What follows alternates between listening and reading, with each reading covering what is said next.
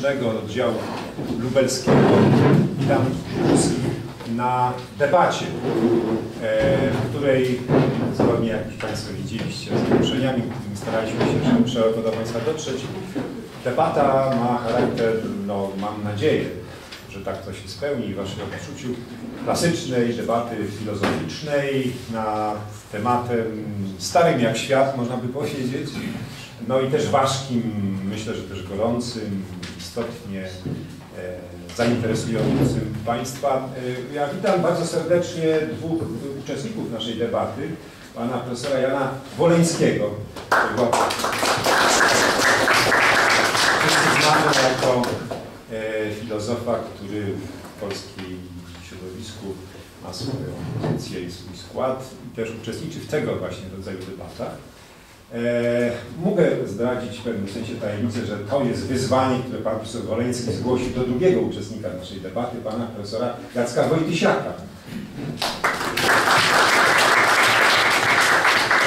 Z Uniwersytetu Lubelskiego, sąsiedniego dla nas, e, uniwersytet, który razem uczestniczy w debatach i też posiedzeniach Polskiego Filozoficznego. Otóż e, debata ma swój tytuł i e, prezentujemy ją Państwu w formie właśnie jednego z rodzaju, poza referatami tematycznymi, e, jednej z możliwości do dyskusji, więc debata będzie miała swój taki porządek, pozwolę zgodnie z porozumieniem z uczestnikami y, y, powiedzieć, że każdy z Panów zabierze swój głos, wypowie swoją kwestię w tym temacie tytułowym w ciągu 20 minut, no 25.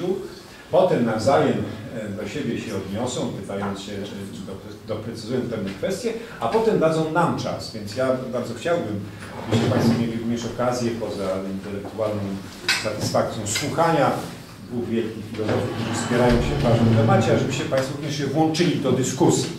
Mamy czas w zasadzie, powiedzieć, nieograniczony. Mecze zdaje się są dzisiaj mało atrakcyjne, bo później się zaczynają.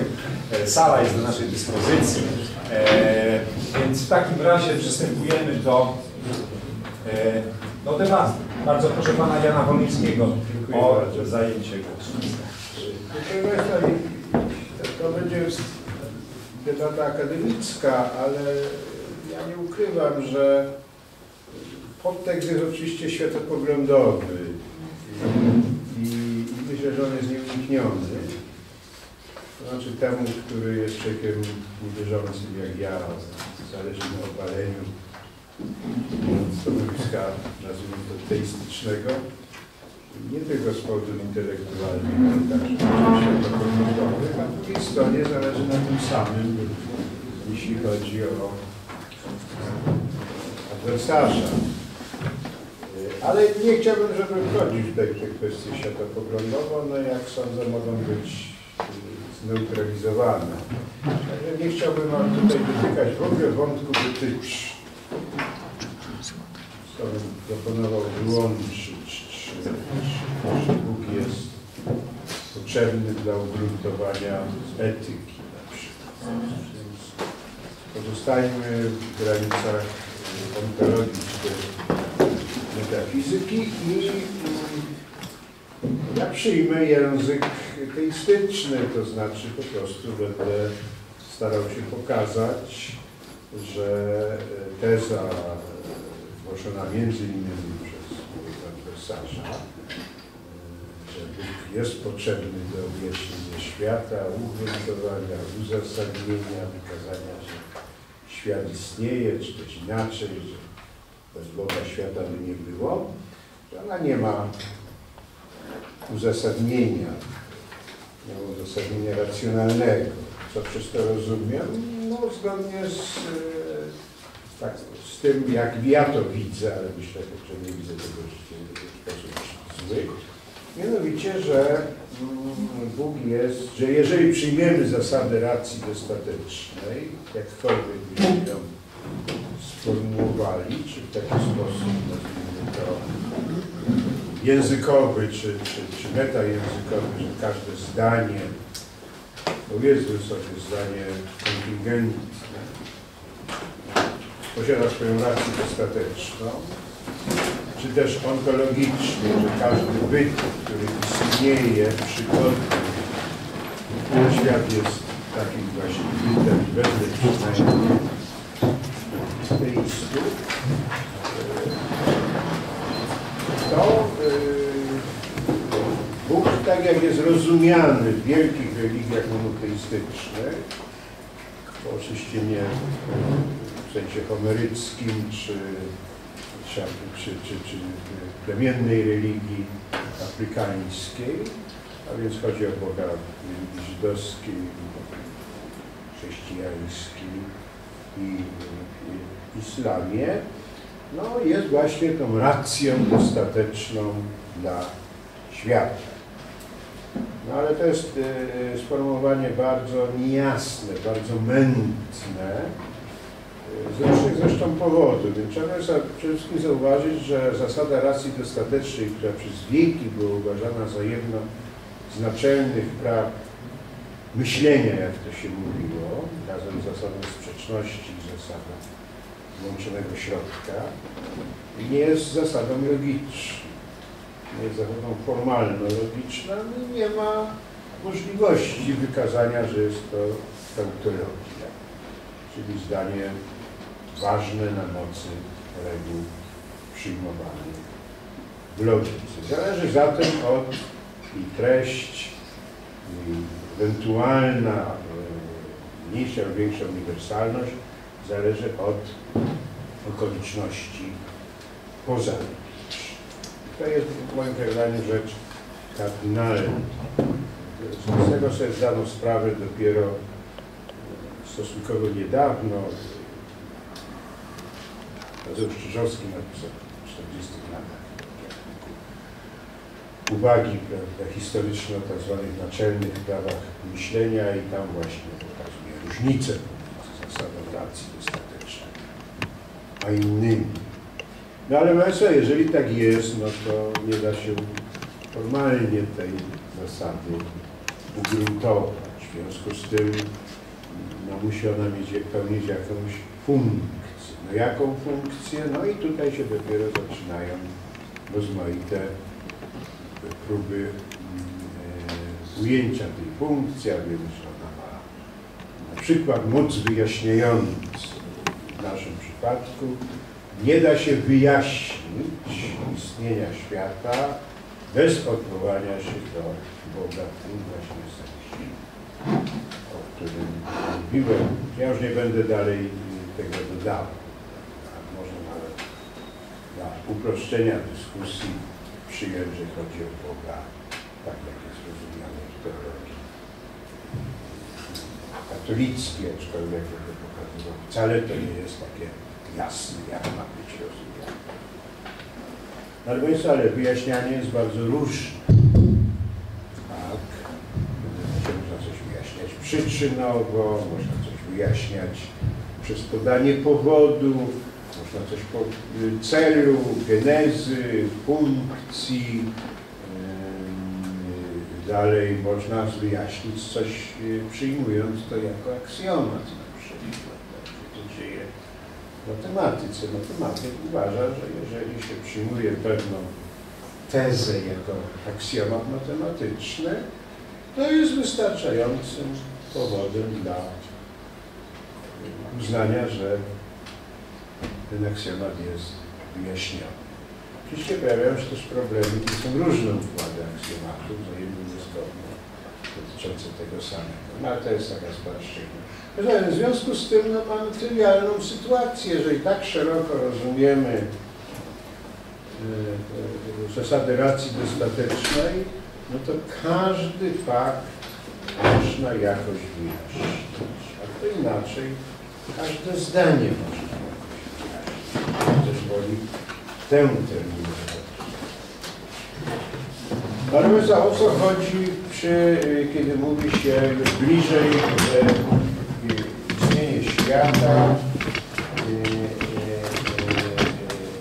jest wyjaśnione, objaśnione przez podanie, przez uznanie, że Bóg, czy też istnienie jest racją dostateczną dla świata jako bytu przygodnego. Państwa, od razu się czyni pewne założenie, że świat jest bytem przygodnym. To wcale nie takie oczywiste założenie. A Bóg jest bytem nieprzygodnym, co też jest prawda, nie tak od razu nasuwający. Dlaczego tak by miało być? Tam mamy dwie drogi, które są zresztą w tradycji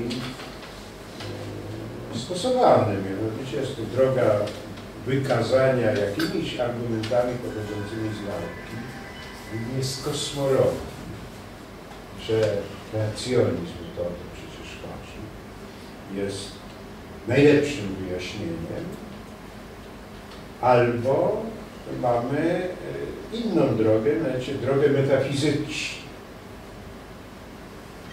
Na przykład nauka nie odpowiada i nie, nawet nie może odpowiedzieć na, na, na, na może przede wszystkim stwierdzić, że świat jest bytem przygodnym, a, Bóg jest bytem nieprzygodnym.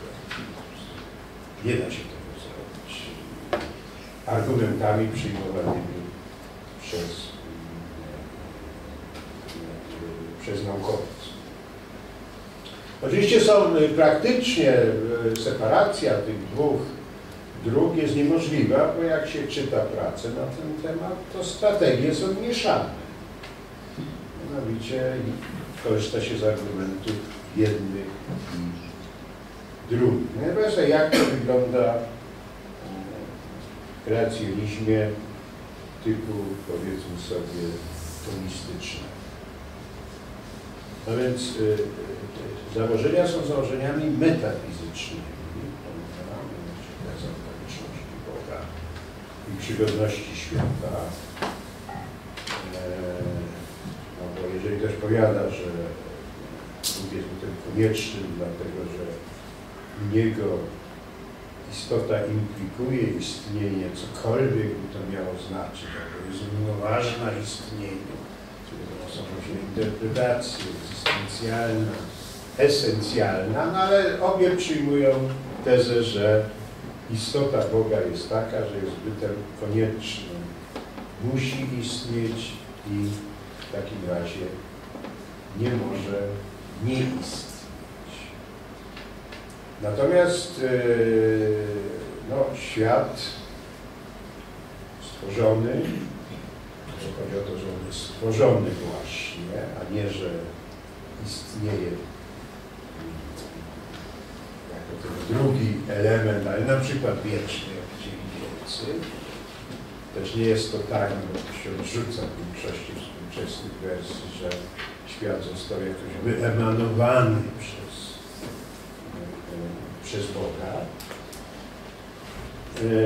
No to też jest teza metafizyczna, ponieważ taki byt przygodny może istnieć, ale też może nie istnieć. Tu się znowu pojawiają różne możliwości interpretacji, bo tak niepostrzeżenie się przechodzi do, do takiej no, definicji przygodności, do nieco innej definicji, że skoro byt jest przygodny, to on zaczyna istnieć i kończy swoje istnienie. To wcale z przygodności nie wynika. W żaden sposób. Trzeba bardzo wiele jeszcze dodatkowo założyć. Więc to są te założenia metafizyczne. I dalsza droga jest oczywiście taka, bo inną sobie trudno wyobrazić, że y, zwolennik takiej tezy będzie starał się dowieść istnienia Boga ze świata, czyli właśnie, tak jak teraz Tomasz za chwilę, przede wszystkim w ten sposób, że przesłanki coś stwierdzają na temat świata, empirycznie czy też metafizycznie, natomiast konkluzja jest konkluzja o istnieniu Boga. To jest ciekawa rzecz, ja się tym nie będę tutaj zajmował. Dowód ontologiczny, ja jeżeli do, do, dowiedzie istnienia Boga, załóżmy, że tak jest, ja to nie wierzę, no ale to będzie, nie będzie, to, to, to, to, nie implikuje, że istnieje byt przygodny. Nie da się tego wykazać z dowodu Anselma, prawda, że e, istnienie bytu koniecznego e, e, implikuje prawda, istnienie bytu przygodnego, przynajmniej na podstawie samej argumentacji ontologicznej. Oczywiście można do tego dodać doktrynę religijną, ale to już nie jest czysta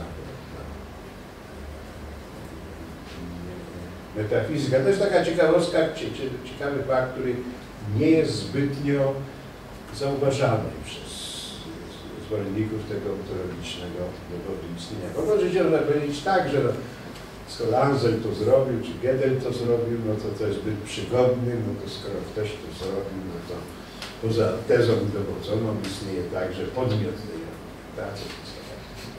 Antropologia, która dość jeszcze tak mówi mówić. I no, Państwa, e, e, jak mówiłem, e, no, skoro już ktoś e, prowadzi te, te, te dowody, nazwijmy to kosmologię, to ja od razu powiem, dowody, a nie żadne drogi. To jest wykręt tomistu współczesny, którym wiele zarzucono.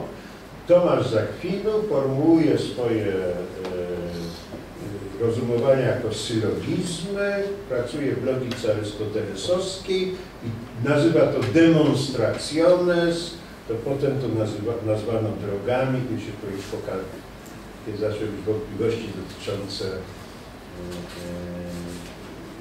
poprawności. I, I to to tak, no, wielu, wielu filozofów, ostatnio przygotowując się do tego, do, do tej debaty, czytałem książkę, na autor się nazywa Spicer, zapomniałem nazwiska, e, współczesne dowody na, istnienie Boga. No wiada tak, ten, to jest taka praca w gruncie czy z kosmologią, tam podaje szal, cały szereg argumentów kosmologicznych i to jest nawet dość, muszę powiedzieć, przepraszam, że to mówię zabawne, e, ponieważ to jest tak, że on mówi, wszystkie dowody kosmologiczne, inne niż kreacjonistyczne, cierpią na trzy defekty. Pierwszy defekt to jest taki, że naruszają zasadę Okhama, że nie należy mnożyć bytów poza potrzebę, no bo zwłaszcza te takie przeświaty pulsujące, przed wielkim wybuchem, cykliczne, jakieś multiświaty, no są różne próby, często po to robione, żeby uniknąć kreacjonizmu. To jest pierwszy prawda, zarzut. Drugi zarzut jest taki, że to są zbyt teoretyczne konstrukcje. I trzeci zarzut to jest, to się nazywa po angielsku fine tuning, to znaczy jest, okazuje się, że niewiele danych obserwacyjnych, kosmologii czy astronomii obserwacyjnej potwierdza te konstrukcje teoretyczne. No ale dlaczego ja powiedziałem, że to jest zabawne? No to jest zabawne dlatego, bo ja pomijam tej chwili, znaczy wszystkie te argumenty, no jeżeli ktoś twierdzi, że wprowadzenie bytu koniecznego nie narusza zasady Okhama, no to ja bardzo prawda, przepraszam. Prawda? Jeżeli ktoś twierdzi, że wprowadzenie takiej konstrukcji kreacjonistycznej nie jest wielką czy wysoką wysoce abstrakcyjną teorią, no to w porównaniu prawda, z e, jakimkolwiek modelem kosmologicznym to, to, to też jest raczej prawda, rozwiązanie dość osobliwe. Natomiast e, no, pytanie teraz, ten trzeci argument jest chyba już najbardziej e, podatny na krytykę, no bo nie bardzo wiadomo w jaki sposób dane, jakiekolwiek dane astronomiczne mogłyby potwierdzić istnienie Boga. Znaczy te dane powiedzmy sobie, z twardej astronomii, a nie jakieś typu pojęcia. No jak dobrze wszystkim wiadomo, nawet bardzo wierzący kosmologowie yy, powiadają, że no, poza te pierwsze, czy, czy poza te, te, te, te, te, te jakieś tam stadia bezpośrednio po wielkim wybuchu, no, my, nie, no, my nie jesteśmy w stanie określić fizyki wielkiej tak? I na tym to się, w sensie jakie prawa e, działały pomiędzy tym hipotetycznie przyjętym wielkim wybuchem, a jak to Weinberg powiadał, pierwsze trzy minuty. że tam jakaś mikroskopijna skala czasowa, a jednak fizycznie nie, nie bardzo, nie bardzo e, e, dająca się opisać. No stąd się biorą te właśnie multiświaty, wszechświat cykliczny, że to cykle, rozszerzania, ekspansji, kontrakcji i tak. To nie jest tylko kwestia obrony światopoglądu sekularnego czy, czy, czy, czy ateistycznego, ale to jest próba właśnie ominięcia tej trudności. Także uważam, że no te, te, te, te dane, no one w żaden sposób nie mogą być używane w teologii. Jeżeli ktoś powiada, że to są, nauka podpowiada, astronomia, kosmologia podpowiada, że kreacjonizm jest najlepszym wyjaśnieniem, no to to jest jakiś nowy sposób wyjaśnienia, który trudno jest e, nawet zrozumieć, o co tutaj może chodzić. I to Państwa prowadzi do e, takiej oto obserwacji. Ja wielokrotnie to dyskutowałem z, z Michałem Kellerem, wcześniej Zachem Życińskim w rozmaity sposób.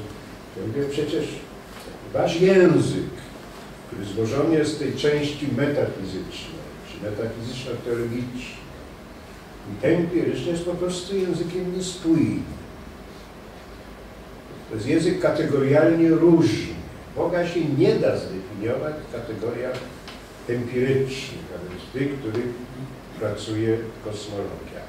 Więc ewentualnie, jeżeli możemy się zgodzić na jakiś, jakąś syntezę, to jest to synteza nie naukowa, tylko to jest synteza metafizyczna, czy nawet metafizyczno-teologiczna. Mianowicie twierdzenia kosmologiczne, matematyczne, czy jakiekolwiek inne z zakresu wiedzy empirycznej, one są parafrazowane na, na, na, na poziom wystawienia.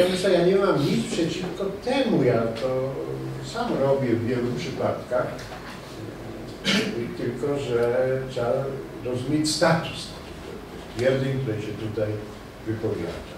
To nie są twierdzenia, które mogą być w jakikolwiek sposób bezpośrednio sprawdzone. Ja teraz pominę kwestię e, poprawności, e, poprawności dowodów tomaszowych, e, poza krótkimi uwagami, mianowicie ta poprawność się rozkłada na poprawność formalną i poprawność materialną.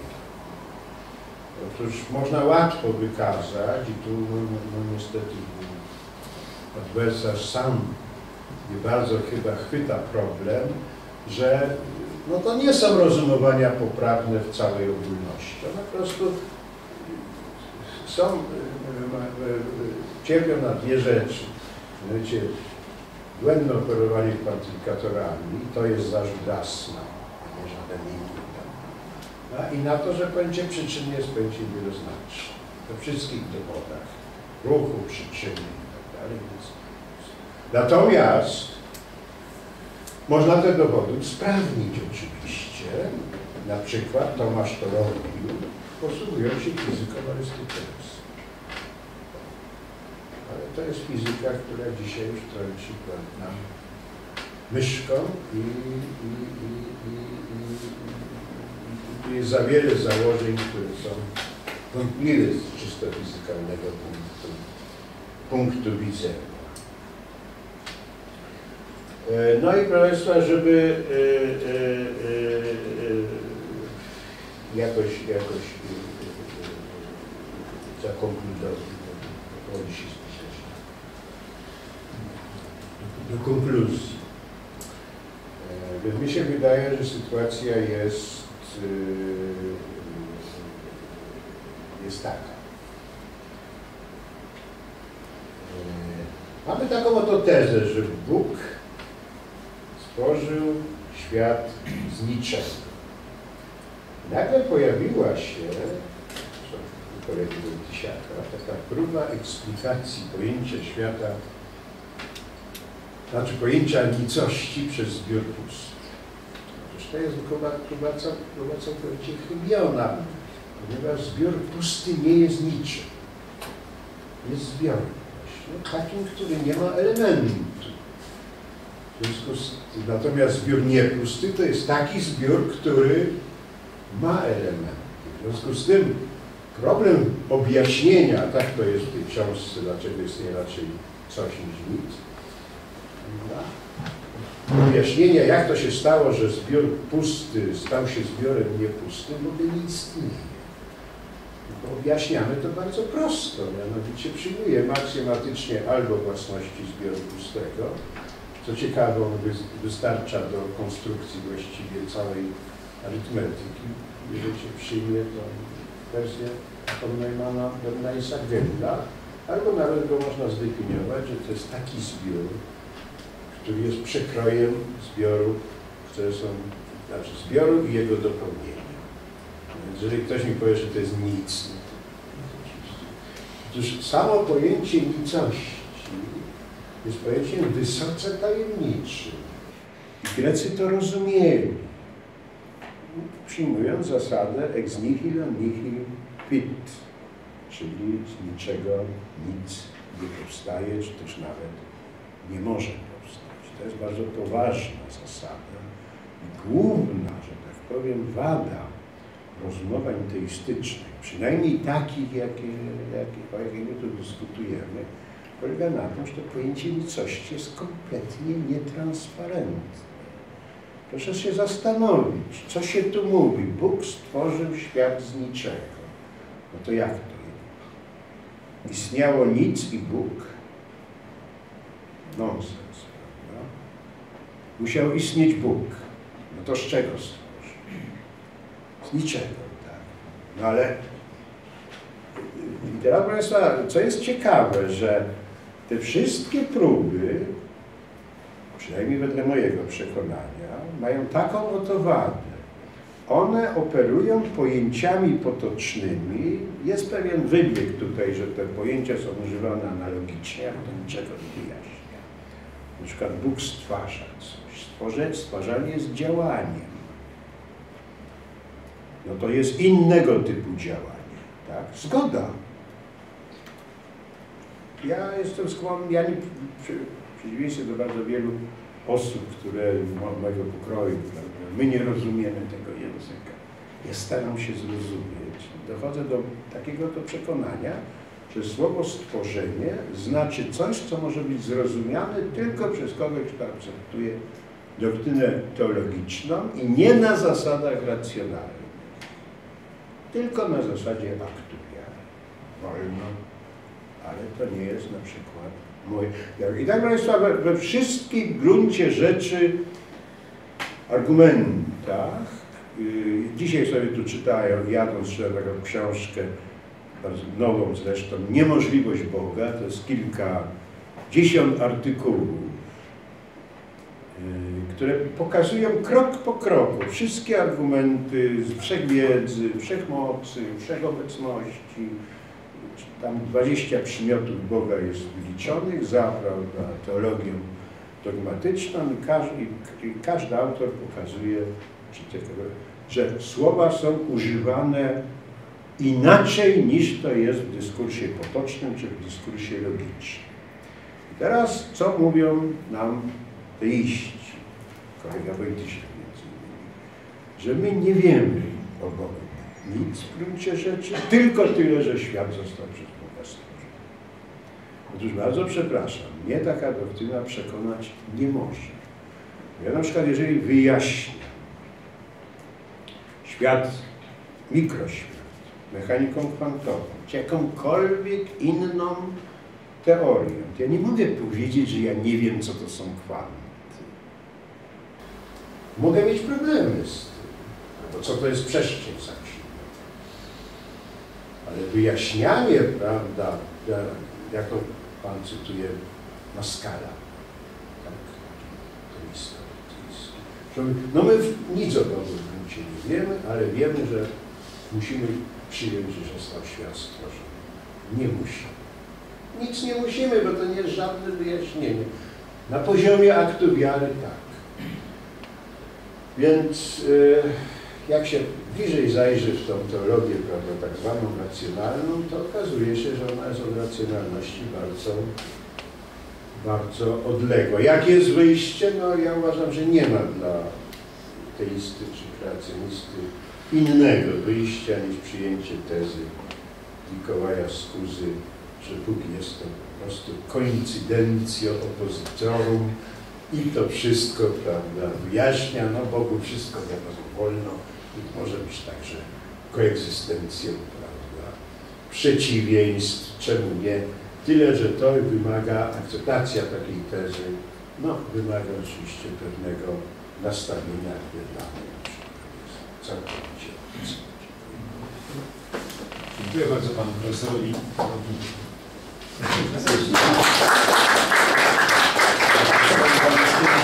Za przedstawienie racji, które jak Państwo zauważyliście są wypowiedziane przez logika i epistemologa i myślę, że w takiej też konwencji, z takiego poziomu e, i z tych dyscyplin e, pan profesor Jacek Wojciech będzie próbował odpowiadać e, na te argumenty, ale mam nadzieję przedstawić własne swoje stanowisko po odniesieniu do bardzo proszę. Pozwolę sobie stanąć. Jesteśmy w wolnym kraju Na początku serdecznie chciałem podziękować organizatorom, a zwłaszcza panu profesorowi, że y, zaprosił mnie do tej y, debaty, co jest dla mnie y, wielkim zaszczytem. I no, powiem szczerze, że pan profesor jest jednym z tych filozofów, który wpłynął na, na moje sposób, przynajmniej sposób filozofowania, chociaż niekoniecznie na wszystkie tezy, przynajmniej w tych zasadniczych tezach się różnimy. I spowodował, że starałem się jak najostrożniej wyrażać swoje tezy i jak najlepiej je uzasadniać, prawda? Co nie znaczy, że zawsze mi wychodziło. Dlatego mam tutaj szczególną tremę, ale nawet to spotkanie, jeżeli jak, jakikolwiek się jakimkolwiek rezultatem zakończy, będzie dla mnie no, kolejnym doświadczeniem, żeby dokładnie przemyśleć swoje tezy i lepiej je jeszcze uzasadnić. Ja pozwolę sobie taki przyjąć porządek, że ja przedstawię swoją wypowiedź krótko, bo nie, no, nie, nie wszystkiego się spodziewałem. Pewnych rzeczy się spodziewałem, że będą poruszone przez pana profesora. Akurat pan profesor powiedział pewne rzeczy, których się nie spodziewałem, dlatego od razu nie jestem w stanie tak szybko zripostować i później jak zostanie czasu, to ustosunkuję się do kilku zarzutów tutaj postawionych. Pierwsza sprawa, przedstawię krótko pewien argument, który uważam za najsprawniejszy na rzecz pozytywnej odpowiedzi na tytułowe dzisiaj postawione przez organizatorów pytanie. Natomiast zanim to, to zrobię, tylko takie zastrzeżenia. Po pierwsze, tutaj rzeczywiście zgadzam się z panem profesorem, że rozpatrujemy problem filozoficzny, który ma pewne reperkusje światopoglądowe i ewentualnie na koniec o tych reperkusjach możemy powiedzieć. Ale nie używam w tym dyskursie pojęcia Boga religii, żadnej religii, nawet czy to będzie judaizm, chrześcijaństwo czy islam, używam pojęcie Boga tak, jak ono zostaje skonstruowane na, na gruncie filozofii. Ewentualnie kolejny krok to jest jego porównanie z pojęciem Boga, jakim operują religii. Więc to jest pierwsza różnica, którą chciałem tutaj y, zaznaczyć. Więc nie stawiałbym pytania, czy Bóg chrześcijański, czy żydowski może nam wyjaśnić istnienie świata. I druga sprawa, to zgadzam się z panem profesorem, że to jest problem y, wysoce spekulatywny i y, z tych dwóch dróg, bardziej empirycznej i tej bardziej spekulatywnej, metafizycznej, no bliższa mi jest jednak ta droga spekulatywna, bo y, zgadzam się z, z trudnościami niewspółmierności języka, w jaką y, popadają ci teiści, powiedzmy, empiryzujący, czy, czy, czy tak w cudzysłowie scientyzujący. Natomiast moja strategia zasadniczo argumentacyjna polega na tym, że stawiamy pytanie, dlaczego istnieje świat i staramy się rozpatrzyć podstawowe y, odpowiedzi na to pytanie, zastanowić się, którą, o, która odpowiedź jest lepiej uzasadniona lub y, którą odpowiedź lepiej wybrać w świetle przyjętych przez nas kryteriów. Y, Owszem, wybór ten zależy od przyjętych kryteriów. Dla mnie zasada racji dostatecznej, czy wolałbym mówić zasada racji, y, ponieważ no, y, dostatecznej to jest bardzo mocne powiedzenie. Y, Zasada racji jest tym bardzo ważnym kryterium przy przy przyjmowaniu, ale nawet jeżeli y, nie będzie tu zgody, to przynajmniej wiemy, y, pod jakimi warunkami tezę teistyczną można y, akceptować. Wobec tego spróbujmy wyjść od postawienia pytania, dlaczego istnieje świat, jako, to też potem ten problem wróci, to jest bardzo skomplikowany problem ontologii świata, no czym, czym taki obiekt jak świat jest, no ale załóżmy w punkcie wyjścia, że to jest największy obiekt fizyczny, który jest no, największą sumą wszystkich y, obiektów fizycznych jakoś ze sobą powiązanych i stawiamy pytanie, dlaczego on istnieje. I teraz y, no, z tego, co znam, y, z znanej literatury y, i no, ze zwykłej takiej refleksji, y, można no, y, przyjąć trzy podstawowe typy odpowiedzi na to pytanie. Owszem, y, y, w mojej rozprawie ja różne y, rozważałem typologię przez różnych au- autorów, ale wydaje mi się, że ta jest najprostsza i wydaje mi się, że ona jest instruktywna. Te trzy odpowiedzi to są takie, czy typy odpowiedzi, no bo to będą różne ich warianty. Pierwsza, którą no, potocznie nazywa się odpowiedzią zwaną odpowiedzią surowego faktu czy nagiego faktu. Drugą to są odpowiedzi immanentystyczne, które wyjaśnienia istnienia świata szukają w samym świecie lub wewnątrz świata. I trzeci typ odpowiedzi to są odpowiedzi transcendentystyczne, które szukają odpowiedzi na to pytanie w odwołaniu do czynnika, który jest poza światem. To może być Bóg, ale nie musi, bo są nieteistyczne wersje y, transcendentyzmu, jeśli, taki ten, jeśli byśmy ten termin y, y, tutaj wprowadzili. I teraz rozpocznijmy od, no, zastanówmy się nad tymi trzema odpowiedziami. Prawda? Więc moja strategia nie polega na tym, że ja chcę bronić tezę teistyczną, chociaż z pewnych względów, ze względu na moją wiarę jest ona mi bliska, tylko ja się zastanawiam, jak rozwiązać ten problem.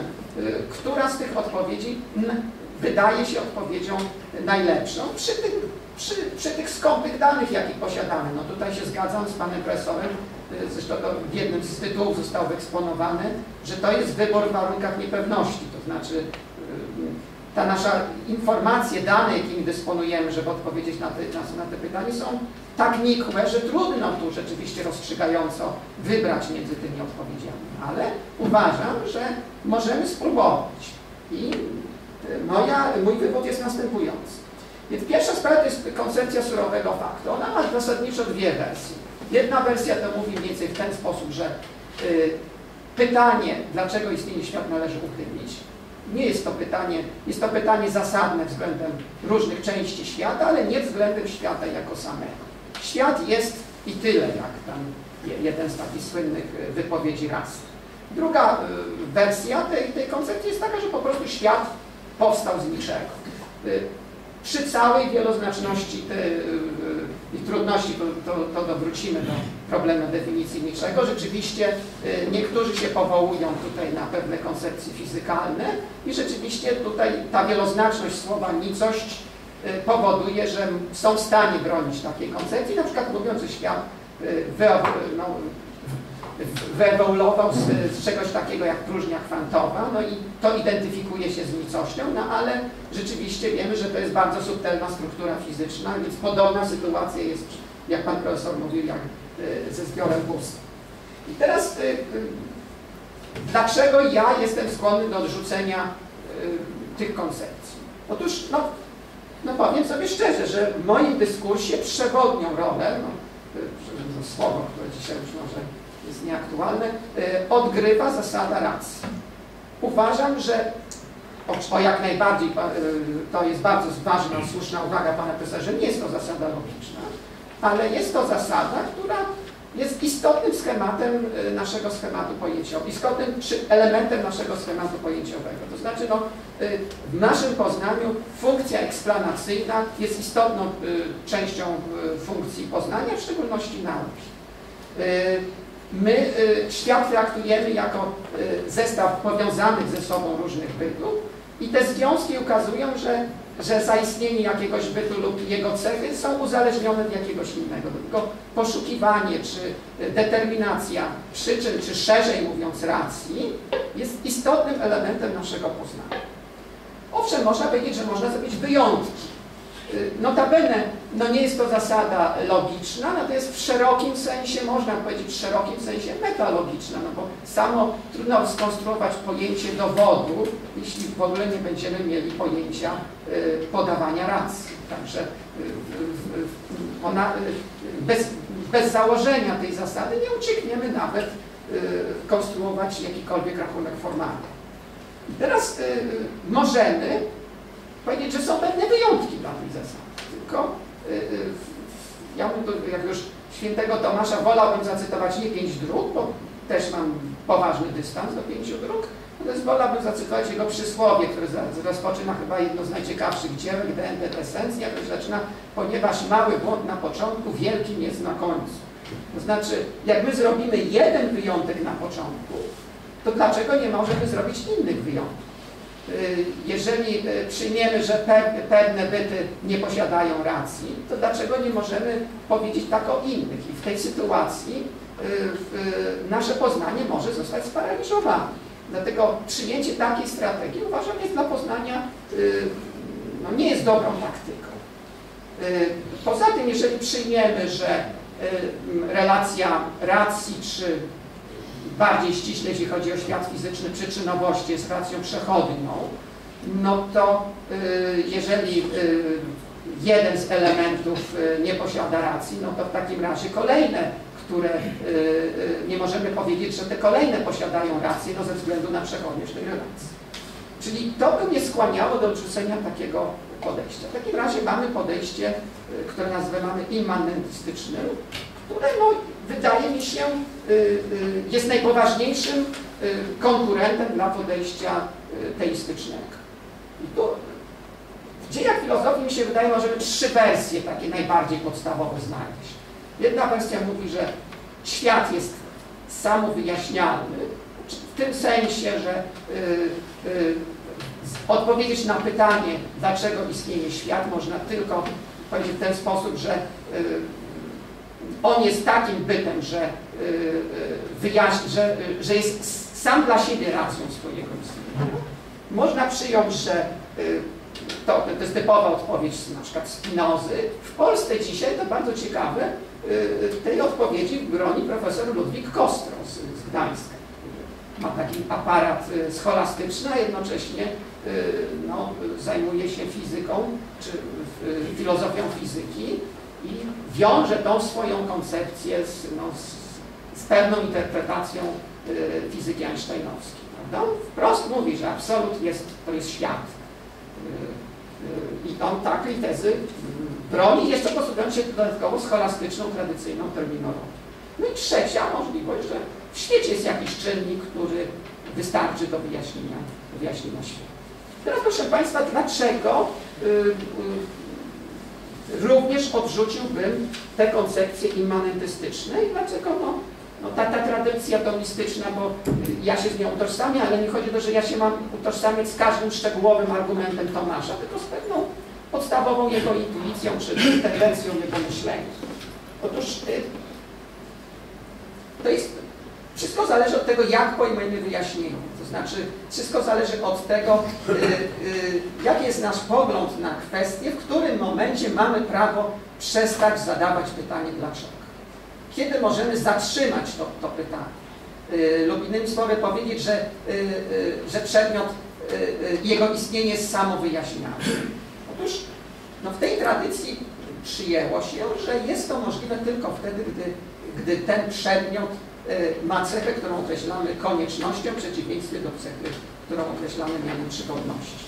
Otóż y, byt przygodny to jest byt w jakiś sposób w swoim istnieniu uwarunkowany od innych bytów, a byt konieczny to jest taki byt, który w żaden sposób nie jest w swoim istnieniu od innych bytów uwarunkowany. Y, I to jest tutaj kluczowa, kluczowa sprawa, że wtedy y, nie, nie jest możliwe już zadawanie dalszego pytania dlaczego, jeżeli znajdziemy taki byt, którego już nic nie warunkuje. My nie możemy podać względem jego żadnej innej racji, która y, ten byt w jakiś sposób wytworzyła lub na niego wpływa. No i możemy powiedzieć, że to jest byt, y, używając tych terminów może dzisiaj takich staroświeckich, samoistny, samoistniejący i tak dalej. Owszem, mamy inne pojęcia przygodności konieczności skorelowane z tym pojęciem tym czysto metafizycznym czy ontologicznym. To pan profesor wspomniał o pojęciu nodalnym. Wydaje mi się, że one, one są skorelowane. To znaczy, że no, byt konieczny w sensie ontologicznym jest również bytem y, koniecznym w sensie modalnym, to znaczy on nie może nie istnieć, w przeciwieństwie do bytu y, przygodnego. No, to pociąga trwałość bytu koniecznego, a nie trwałość lub moż, możliwość rozpadu bytu y, przygodnego.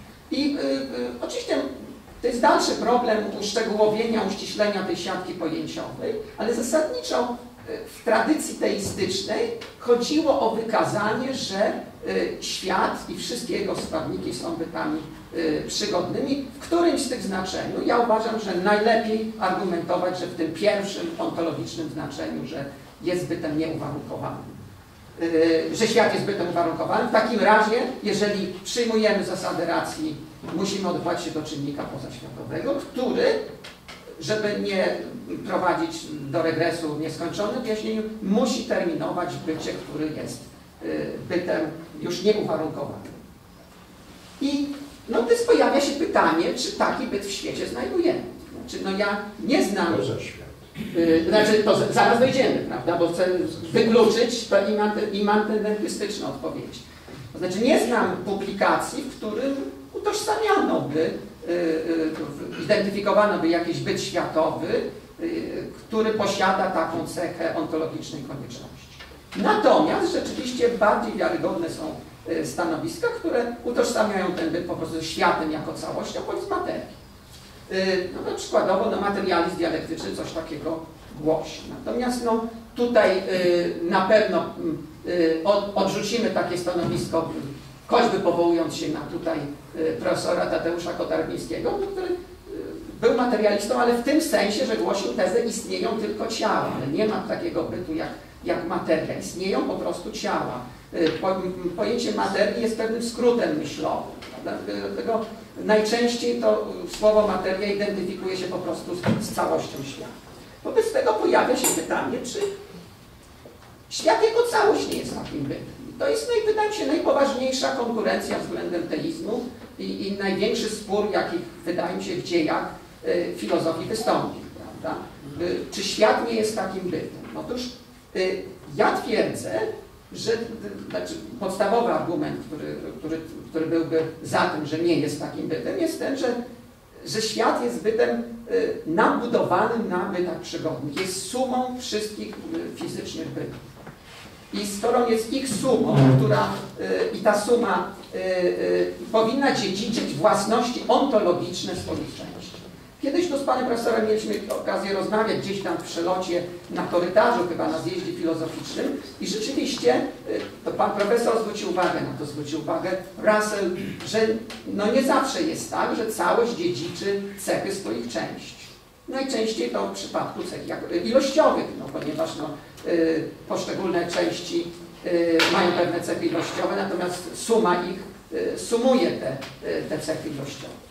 Natomiast y, ja uważam, że, y, że świat y, dziedziczy cechy modalne czy ontologiczne swoich części. Trudno sobie pomyśleć, że wszystko mogłoby przestać istnieć lub mogłoby nie istnieć, a świat nie posiadałby takiej cechy. Świat musiałby istnieć z konieczności.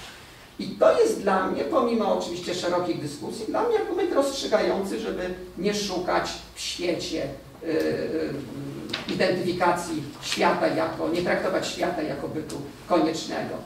Y, No można dodatkowo powiedzieć, że ten świat jako, jako y, pewien y, konglomerat innych bytów jest od nich zależny, to znaczy nie byłoby go bez tamtych bytów. W takim razie nie można mu nadać cechy nieuwarunkowane. Jeżeli by kogokolwiek przekonało takie rozumowanie, zostaje przed nim tylko i wyłącznie stanowiska transcendentystyczne.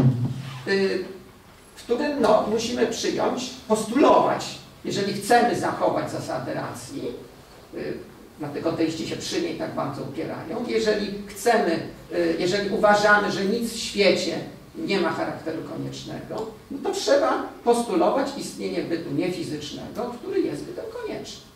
I wtedy y, mamy, y, pojawia się właściwa odpowiedź na pytanie, dlaczego istnieje świat. I teraz proszę Państwa, no już, żeby tutaj y, y, y, już nie przedłużać, y, kolejny etap takiego dyskursu po- powinien, po- powinien polegać na analizie pojęciowej tego pojęcia bytu koniecznego, bytu y, transcendentnego bytu koniecznego. No, y, na pewno z tej analizy wynikałoby, że to jest byt niefizyczny, ponieważ on ma wyjaśnić istnienie wszystkich bytów fizycznych, więc w takim razie nie może być bytem fizycznym. To jest pierwsza y, własność. No, na pewno będzie bytem nieuwarunkowanym, no bo y, taką, y, to, to jest istota bytu koniecznego.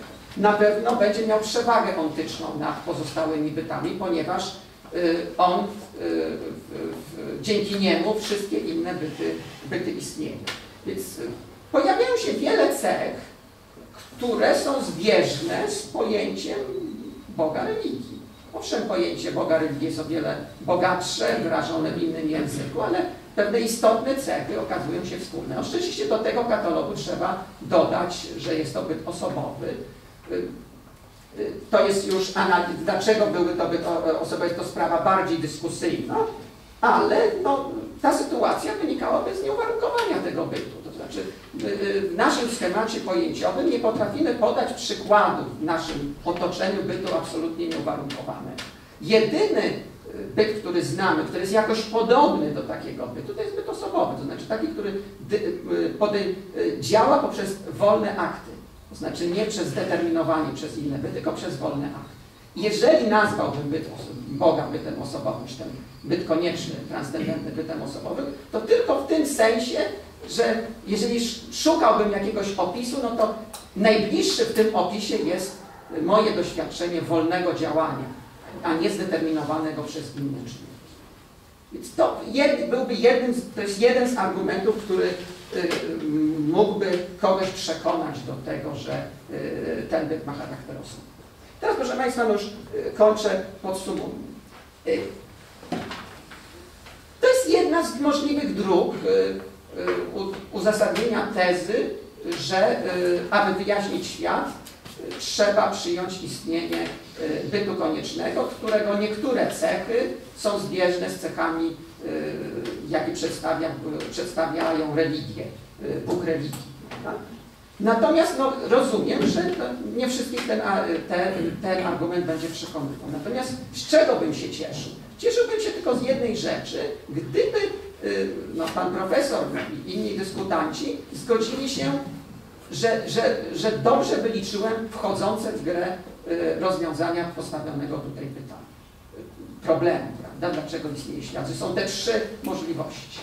I zgodzili się z tym, że y, pomimo tych wszystkich trudności, y, rozwiązanie teistyczne jest jedną z możliwości, równie poważną jak inne możliwości. Znaczy, wchodzimy tu w meandr różnych szczegółowych zagadnień, bardzo skomplikowanych, ale że to jest jedna z poważnych odpowiedzi na to pytanie. Możemy mieć trudności z rozstrzygnięciem, ale jeżeli tak, to, to oznacza, że gdy y, za pomocą analizy innych obszarów dziedzin ludzkiego poznania okaże się, że na gruncie filozofii będziemy mogli wprowadzić pojęcie podobne do pojęcia, jak tu przedstawiłem, y, bytu koniecznego, które wyjaśnia inne obszary y, naszego zainteresowania, to w takim razie no, prostota eksplanacyjna, chęć unifikacji naszego poznania y, będzie takim czynnikiem, który y, będzie sprzyjał temu, żeby przyjąć istnienie takiego bytu. Otóż nie tylko mamy argument kosmologiczny, który przedstawiam, ale wspomniany argument, argument przez pana profesora, y, argument y, ontologiczny, mamy argument y, teologiczny, y, moralny, epistemologiczny i tak dalej, i tak dalej.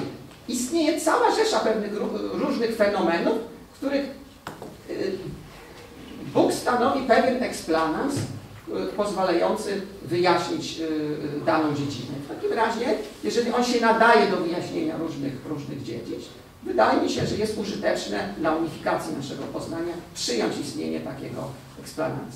I ostatnia sprawa, jakie to ma konsekwencje światopoglądowe? Znaczy może to nie mieć żadnych konsekwencji światopoglądowych, ktoś może przyznać, że to jest problem czysto teoretyczny i nie ma to żadnego znaczenia dla niego życia. Ale może być też taka sytuacja, że y, ten argument, który przedstawiłem, może sprzyjać pewnym przeżyciom czy pewnym uczuciom o charakterze religijnym. No, na przykład uczuciu wdzięczności za to, że byt powołał, ten byt powołał mnie do istnienia, uczucie jakiegoś przerażenia wobec ogromności takiego bytu, prawda? Więc może wpływać na generowanie lub racjonalizowanie pewnych przeżyć religijnych. A jeśli dodatkowo ktoś ma pewne racje do tego, żeby przyjąć wiarę religijną, wstępując do jakiejś wspólnoty religijnej, która, która no, przekazuje coś, co nazywa objawieniem Bożym, no to mogę potraktować, że mam dwustronne informacje o tym bycie. Z jednej strony z filozofii, a z drugiej strony y, ze strony religii. I, i ten argument może sprzyjać jakiejś y, y, y, uspójnianiu mojego światopglądu. Więc to tyle, jeśli chodzi o mój głos. I teraz mam pytanie, czy mogę się już od razu stosunkować, czy, to, czy, czy lepiej zaczekać już... y, To y, myślę, tak jak mówiliśmy, pan profesor. Dobrze. No, mało czasu jest, więc będę...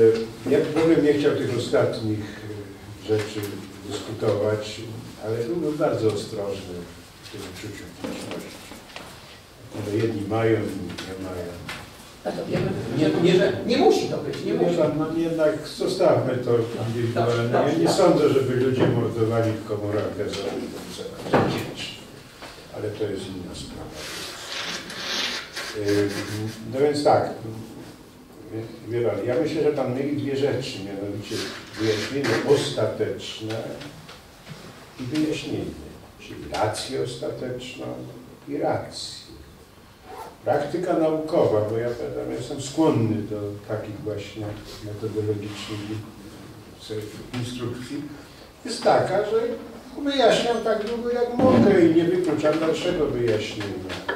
Natomiast da się zrobić wyjaśnienie ostateczne, to oczywiście jest już sprawa zupełnie inna, więc tego, że nie ma tego wyjaśnienia ostatecznego, no wcale nie wynika, że mamy czuć się ułomni na przykład. Patrząc na historię tego problemu, czy na historię wiedzy, no jednak szalenie się to wszystko zmieniło i rozwinęło i gdybyśmy tak, prawda, potraktowali, że musimy, prawda, wyjaśnić, podać tą rację.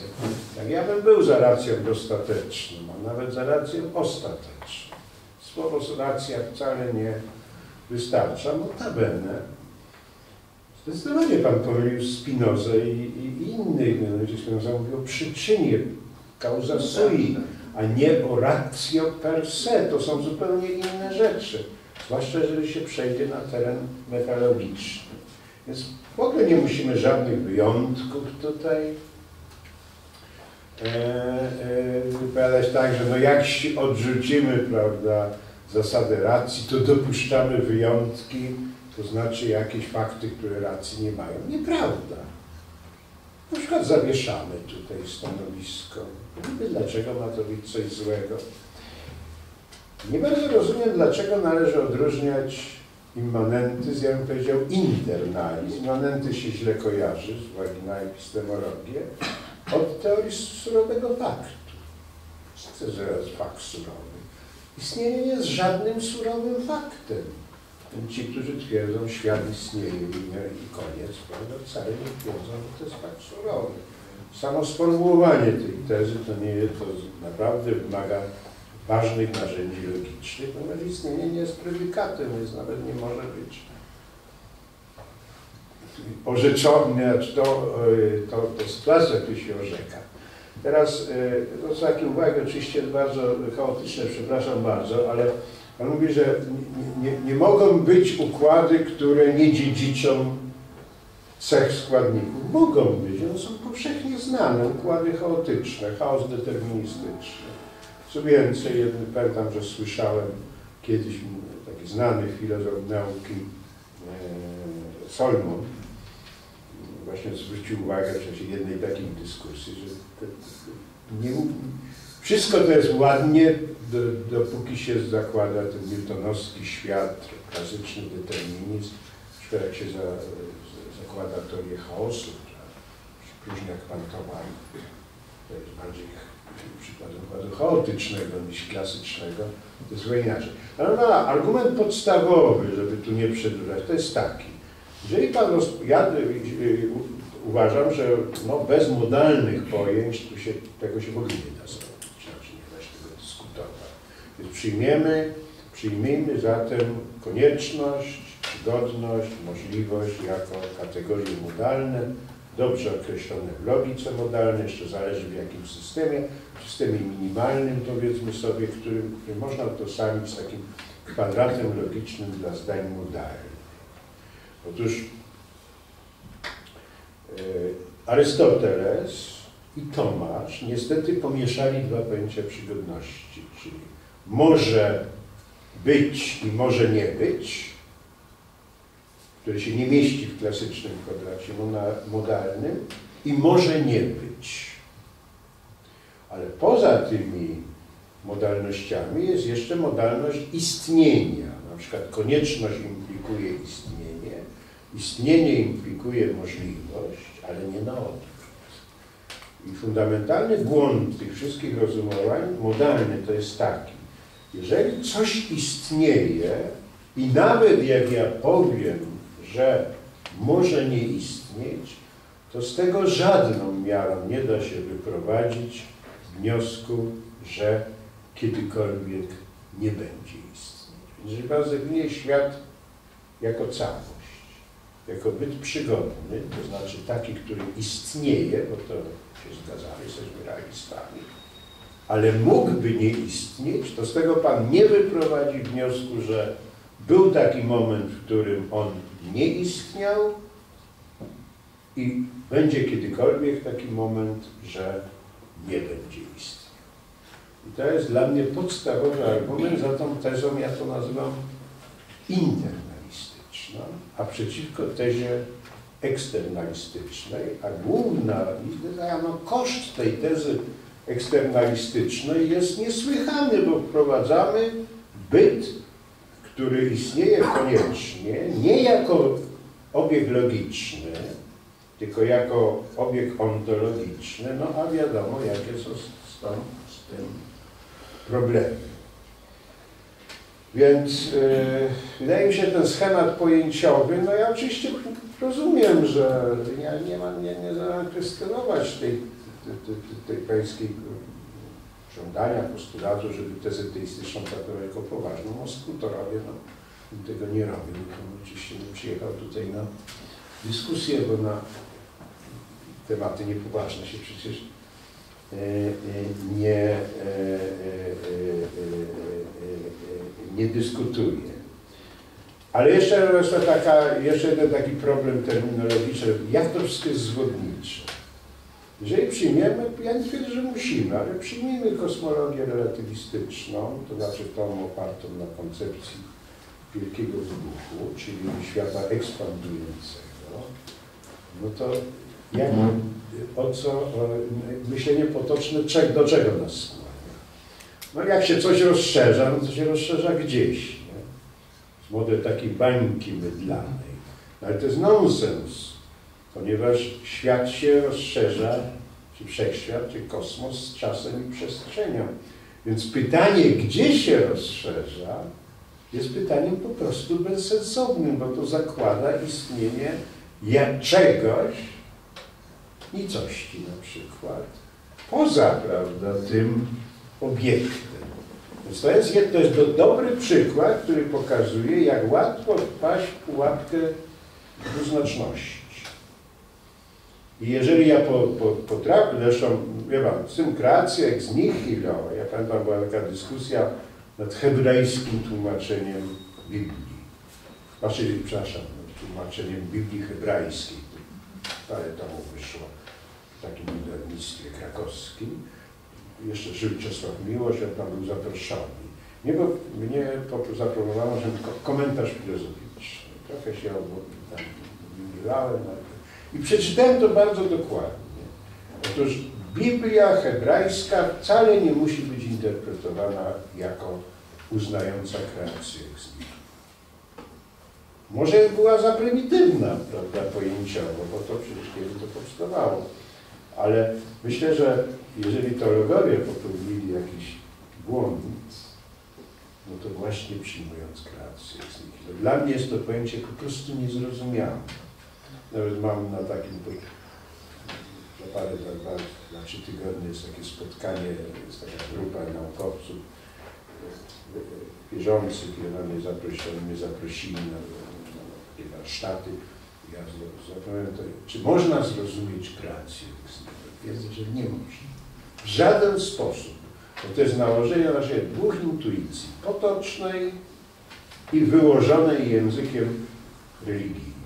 No to może na razie tyle. Więc ja nie mam żadnych problemów ze zrozumieniem, dlaczego świat jako suma bytów poszczególnych nie miał mieć innych własności, innych, powtarzam, niekoniecznie trzeba nazwać koniecznością. Na przykład może powiedzieć, że on ma mniej stopni swobody i dlatego jest stabilny niż obiekt, który jego składa. Dobrze, dobrze, to y, jeśli można, to dziękuję. Y,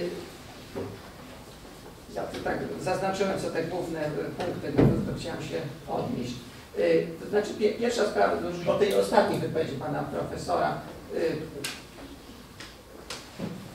to, to, to mi się wydaje, że to nie jest y, konflikt poglądów, tylko bym powiedział konflikt zainteresowań. To znaczy, że jedni mają zainteresowania wyjaśnieniem lokalnym, jak najbardziej. No. Natomiast no, klasy, tradycyjna metafizyka po, polegała na poszukiwaniu tak zwanego ostatecznego wyjaśnienia. No, na tym ta dyscyplina polegała. Więc y, jeżeli my chcemy uprawiać tą dys dyscyplinę no, w tradycyjnym sensie, no to taki problem należałoby poruszyć. Być może y, nie da się tego problemu rozwiązać, no, ale jeżeli uważamy, że jednak tradycja filozoficzna dostarcza nam przynajmniej, jeśli nie rozwiązań, to jakiejś y, ważnych, fundamentalnych problemów, no to taki problem możemy y, poruszać i co nie, nie oznacza, że stajemy w konflikcie z tymi, którzy y, zadawalają się wyjaśnieniami lokalnymi, po prostu się innymi y, wyjaśnieniami nie interesują. Nie jest to ważne dla ich dziedziny wiedzy. To jest pierwsza sprawa. Druga sprawa, no to te kwestie terminologiczne, yy, bo ja dlatego już użyłem immanentyzm, bo internalizm to też dzisiaj w epistemologii się pojawia i też ma już swoje skojarzenia, więc właśnie no to trudno znaleźć termin. No, to taka, yy, taka była no, robocza nazwa i można pomyśleć o, yy, o lepszej nazwie. Natomiast co do kwestii tutaj z panem profesorem się jak najbardziej zgadzam, że y, y, całość jak najbardziej może y, posiadać inne cechy niż jej części. Natomiast uważam, że w tej kwestii tak nie jest. To znaczy, jeśli chodzi o cechy modalne, to całość nie może posiadać silniejszych modalnie cech niż, niż jej część. I w tym, tym przypadku, jeżeli każda część świata, silniejszych modalnie niż, niż, tak, niż, niż, niż części, no bo świat jest sumą tych części. Więc jeżeli wszystkie części są y, przy, modalnie przygodne, to również, y, również y, świat jest modalnie przygodny, co nie oznacza... Panu przerwę. Istnienie jest mocniejszą częścią niż mocniejszym, prawda, pojęciem aniżeli możliwość. Więc to nie jest po prostu prawda, co Pan mówi. Formalnie to można pokazać. To znaczy, ja pan, pan się zgadzam, że to z tego nie wynika, że, że może być taka sytuacja, że świat modalnie niekoniecznie on zawsze istnieje, jak najbardziej. No to ja, ja z tym nie polemizuję. Tylko, że przy, przy, w, w, wielu filozofów już to uważa za przygodny. Taki świat uważa za przygodny i szuka jego wyjaśnienia. Nie zadawala się istnieniem takiego świata. No są autorzy, którzy wprost mówią, są teistami.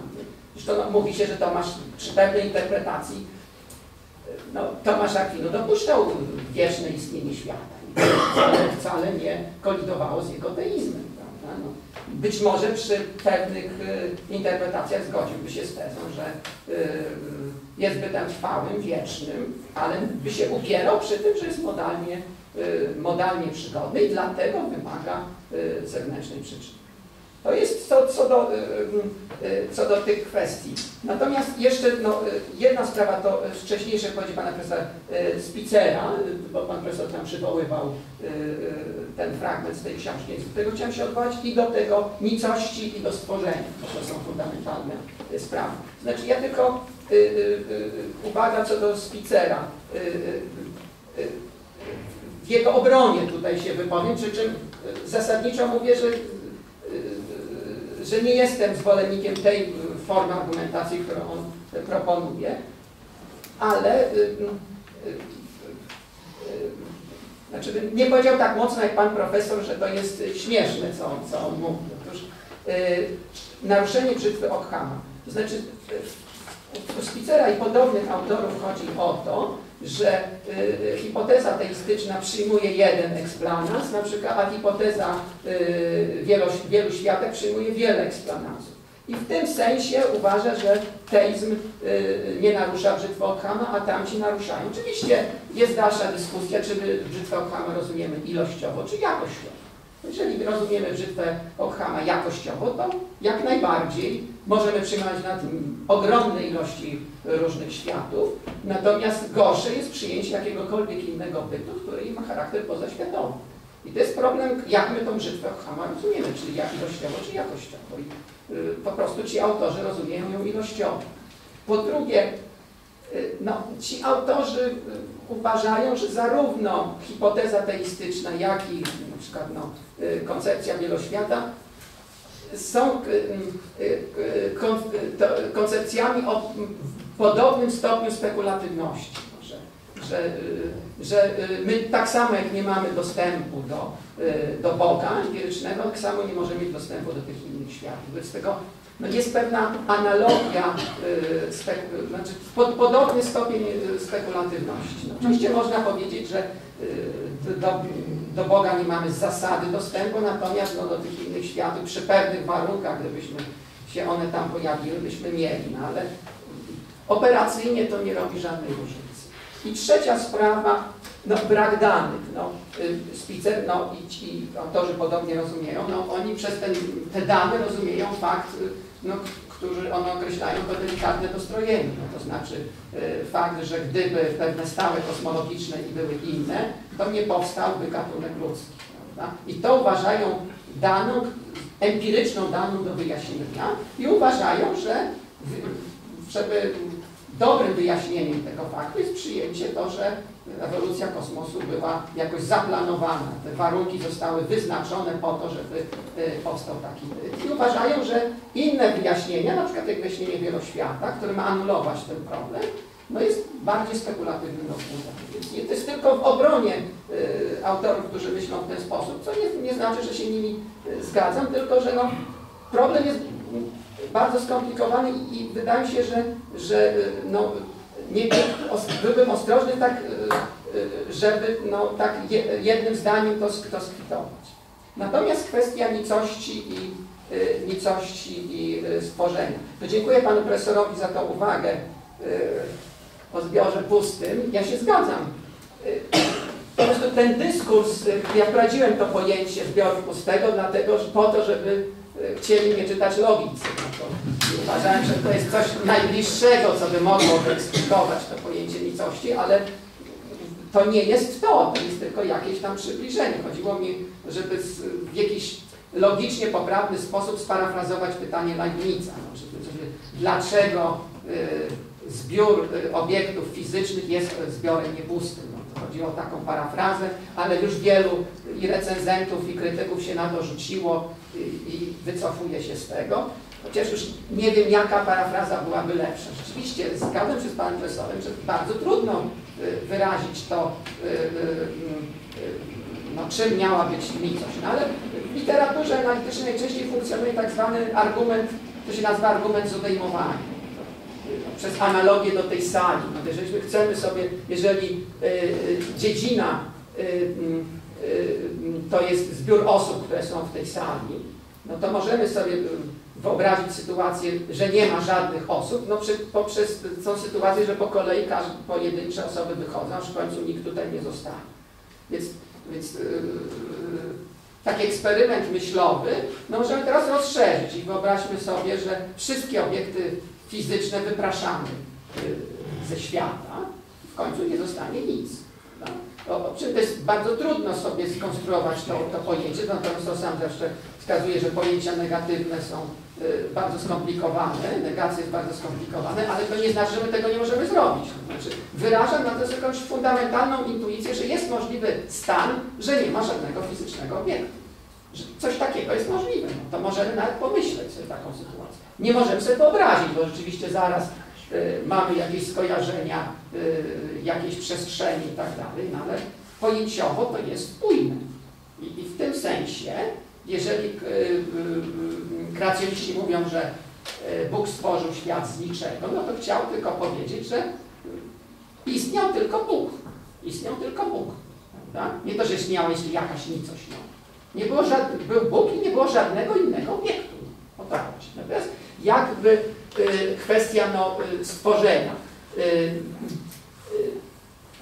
że to jest pojęcie całkowicie nie dające się zrozumieć. Mi się wydaje, że znaczy, znaczy no, to jest oczywiście y, problem, co to znaczy zrozumieć, no bo y, zależy od przyjętego schematu pojęciowego. No, ja wprowadzam to pojęcie przez wy, wy, uzmiennienie zwykłego pojęcia przyczynowości, czy na przykład no, prościej wytwarzania. Ja mogę zrobić z tego z, powiedzmy mogę, gdy będę miał to szkło, mogę zrobić, ktoś zrobił tą szklankę ze szkła. Więc mieliśmy trzy czynniki. Był czyniący to podmiot, był materiał i efekt końcowy, którym była ta szklanka. No i jest coś takiego jak wytwarzanie. Z życia codziennego znamy taką sytuację. Kreacja, stworzenie z niczego byłaby sytuacją taką, w którym ta trójczłonowa relacja, z tej trójczłonowej relacji wyrzucamy materiał. Oczywiście nie znamy takiej sytuacji z naszego życia, nie znamy takiej sytuacji z naszego życia, ale to nie znaczy, że to nie da się takiego pojęcia wprowadzić. No, no ponieważ ta sytuacja stwarzania jest wyjątkową sytuacją dostępną jedynie Bogu. W analogii w świecie jej nie mamy, tylko sobie możemy pomyśleć, że to jest wytwarzanie, w którym nie było materiału. Pewne analogie się podaje, no takie nazwijmy, yy, yy, yy, no naj, najlepszą chyba analogią jest tworzenie muzyki, twórczość na przykład kompozytorska, prawda, kiedy no, powstaje, nie, nie, widać tego materiału, z, z, którego powstaje nowy byt. Oczywiście no, tym materiałem będą dźwięki, ale trudno je w momencie, kiedy kompozytor tworzy, on nie dysponuje żadnymi dźwiękami. Oczywiście no, tak naprawdę to jest kombinacja już posiadanych przez niego czy zapamiętanych dźwięków, bądź pewnych napisów na kartce, prawda, które są symbolami tych dźwięków. Ale no, jest to pewna analogia, no, jak, jak na marginesie no, y, y, jeden z najwybitniejszych y, chrześcijańskich pisarzy chciał tę analogię przywrócić, Tolkien, jakoś, jakoś uwrażliwił cały ten cykl swoich tych opowieści rozpoczął o stwarzaniu świata jako dziele muzycznym. Bóg wymyśla sobie y, odpowiednie istoty i oni zaczynają grać. Oczywiście ja jestem przekonany, że pana profesora coś takiego nie, nie zadowoli, tylko że możemy podać analogię, to jest pierwsza sprawa, to już jest coś, czyli na wyobraźni możemy zadziałać, a po drugie możemy przez uzbiennianie, wychodząc od pojęcia wytwarzania, czy y, jakiegoś y, pojęcia y, y przyczynowości jako wieloskładnikowej relacji, zabranie pewnych elementów, no, zrozumieć, czym by to miało być. Co nie znaczy, że, że to coś takiego gdziekolwiek zachodzi. No, wydaje mi się, że nieraz w, w, w, w nauce i w filozofii takie, takie czynności robiono. No, to się, no, fenomenologowie nazywają to operacją zmieniania, ale, ale przy pewnych eksperymentach myślowych, które się naprowadza słuchacza na bardzo abstrakcyjne struktury, no to właśnie się jakoś tak robi, że wychodzi się od jakichś sytuacji znanych z, z codziennego y, użycia, no i pokazuje się, ale wy, wyjmij z tego jeden element, czy ten i ten. I to o to by właśnie chodzi. Jeszcze ostatnia sprawa, kwestia Biblii, no to rzeczywiście jest zgoda, y, no, to pojęcie y, pojawiło się dopiero w drugiej księdze machabejskiej, y, po, pojawiło się Iugonaś, która jest napisana po grecku i tam jest ta, ta, to, to sformułowanie, że Bóg stworzył świat z niczego. To jest to proste sformułowanie. Bo to jest dosyć późno, prawda? Mówi się, że to pod wpływem kontaktu już z, z filozofią grecką się pojawiło. Więc to mm, i, i, i raczej to się pojawia nie jako idea e, religijna, tylko już w jakimś kontekście filozoficznym. Więc to rzeczywiście, y, natomiast jeżeli interpretorzy doszukują się tego w księdze rodzaju, to mówię tak, że Hebrajczycy nie mieli tak zaawansowanej aparatury pojęciowej. Y, Im chodziło tylko, żeby wyrazić ten prymat Boga względem wszystkiego innego. Jakbyśmy do końca się wczuli w ten prymat, y, no to moim zdaniem nie da się nie zaakceptować kreacjonizmu, ponieważ będzie jakiś byt, który jakoś Boga ogranicza, choćby ten materiał, choćby ta materia. Prawda? On zawsze będzie go y, ograniczał. Jeżeli na serio idea wszechmocy nas y, y, jest ważną ideą religijną, kluczową dla religii i może również dla metafizyki, no to w takim razie nie można sobie inaczej pojąć przyczynowania, które spowodowało powstanie świata, jak, właśnie kreację psychiczną. Bo inaczej ta moc Boga byłaby jakoś ograniczona. No to tylko tyle, jeśli chodzi o te uwagi y, dyskusyjne. Dziękuję. Dziękuję bardzo panu profesorowi za komentarz do wcześniejszych uwag. I teraz, jak widzieliście Państwo, mamy już pełne prezentacje stanowisk i zgodnie z zasadami naszej debaty, to teraz Państwo elementy zbioru, który na razie jest pełna, jeśli nie pusto, możecie wszyscy Państwo złożyć pytania, uwagi, komentarze do tego, co usłyszeliśmy. Zachęcam do zabierania głosu. Bardzo proszę. E, Ja znam większość z Państwa, ale nie wszystkich. To może też przed dyskutami przyjął przedstawienie. Muzyczka. No, zabrakło tutaj e, jeszcze jednego elementu, oprócz, tych teoretycznych rozważań i problematyka powiedzmy Boga, religii z punktu widzenia tylko teoretycznego. Wydaje się, że daleko bardziej istotne dla człowieka są problemy egzystencjalne. I problematyka egzystencjalna, czyli poszukiwanie sensu ludzkiego życia, cierpienia, śmierci, a zwłaszcza problemy eschatologiczne, są główną motywacją u większości ludzi wierzących. Nie są to tylko problemy teoretyczne. Są to lub wydają się być wręcz potrzeby ludzkiej świadomości, które trudno byłoby uznać za całkowicie bezprzedmiotowe. Frank mówił nawet o potrzebie transcendencji, nawet o instynkcie transcendencji, nadającej sens właśnie ludzkiemu życiu z jego składowymi, czyli zdarzeniami, przeżyciami. Nie da się tu jednak zastosować zasad dowodzenia typu logiko-matematycznego lub empirystycznego testowania, co nie znaczy, że te potrzeby są absurdalne i y, zawartość treściowa związana z tymi potrzebami. O czym wiemy z twierdzenia Goebbela, czyli że mogą istnieć zdania niedowodliwe w ramach danego systemu, a które jednak mogą lub są prawdziwe, mogą być, są prawdziwe. Więc y, tutaj powiedzmy, jeżeli przejdziemy na tę płaszczyznę egzystencjalną, to myślę, że problematyka tutaj przedstawiana uległaby mm, znacznemu rozszerzeniu i mam nadzieję epistemicznie wartościowemu. Dziękuję. Uważacie, że się No, ja proponowałem, żeby to pominąć, nie dlatego, że to jest nieważne, tylko że to w moim przekonaniu akurat jest zupełnie odrębny temat. Pan ma rację, to tego nie wiem. Miliard ludzi na świecie jest sekularyzowanych, co nie znaczy, że nie mają potrzeb egzystencjalnych, problemów itd., ale jakoś radzą sobie bez religii. Co więcej, są religie, które zupełnie bardzo różnie się na to zapatrują. Z samego instynktu transcendencji nie wynika, że ta transcendencja istnieje. Jest bardzo wiele możliwe psychologicznej, czy nawet neurologicznej w tej chwili koncepcji religii, uważa się, że to jest bardzo istotny składnik e, ludzkiego życia, na przykład element socjalizacji i nie, nie sądzę, żeby do dyskusji na temat egzystencjalny, powiem tak, że ja na przykład potrafię dyskutować na temat egzystencjalnej strony religii, będąc człowiekiem niewierzącym, to całkowicie doceniam, ale nie uważam, że to jest potrzebne. Nawet wymiana myśli z ludźmi wierzącymi daje jakieś, prawda, poczucie no właśnie dyskursu, prawda, się poznaje innego człowieka, jego poglądy, jego potrzeby. Ale widzę, że nie, nie, nie zgadzam się z tym twierdzeniem, że bez religii nie ma tego, o czym Pan mówił. Wręcz przeciwnie. Nie Co więcej, nawet- bez religii nie ma.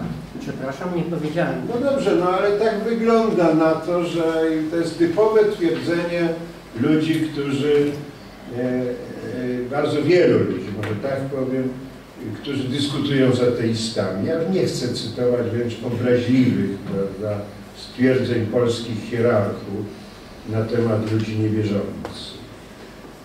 Ale to jest rzecz bardzo symptomatyczna. Ja ciągle słyszę, że jestem człowiekiem prymitywnym, kłamliwym, zauganym i to nawet od największych autorytetów w sensie hierarchicznym. No więc jak to interpretuję? Ale to ja mówię, proszę Państwa, no może nie dyskutujmy tego. No, jak zaprosicie, przyjadę, przedstawię swoje poglądy na temat etycznej, czy egzystencjalnej, czy antropologicznej strony tego problemu. Mam bardzo negatywne zdanie na temat praktyki polskiej. Nie każdy. Ja, y, bo taka była umowa, że, że, że poruszamy inny zestaw tematów, bardziej, że y, y, ten temat jest bardzo, no o wiele trudniej się tu dogadać niż nawet w tym problemie metafizycznym, bo tutaj jest, jest wyraźnie można te stanowiska sformułować, tu jest więcej elementów osobistych chodzi w grę. Ale tylko przy okazji za, zasygnalizuję i zareklamuję, pojawiła się właśnie niedawno, może kilka dni temu, najnowsza książka profesora Stanisława Judyckiego, która nosi taki y, ciekawy tytuł Książeczka o człowieku wierzącym. To jest aluzja do Ingardena. Y, właśnie, która te egzystencjalne głównie tropi elementy osobiste, już pomijam kwestię instytucji, bo to już odrębny sprawa, tam nic o tych instytucjach nie ma.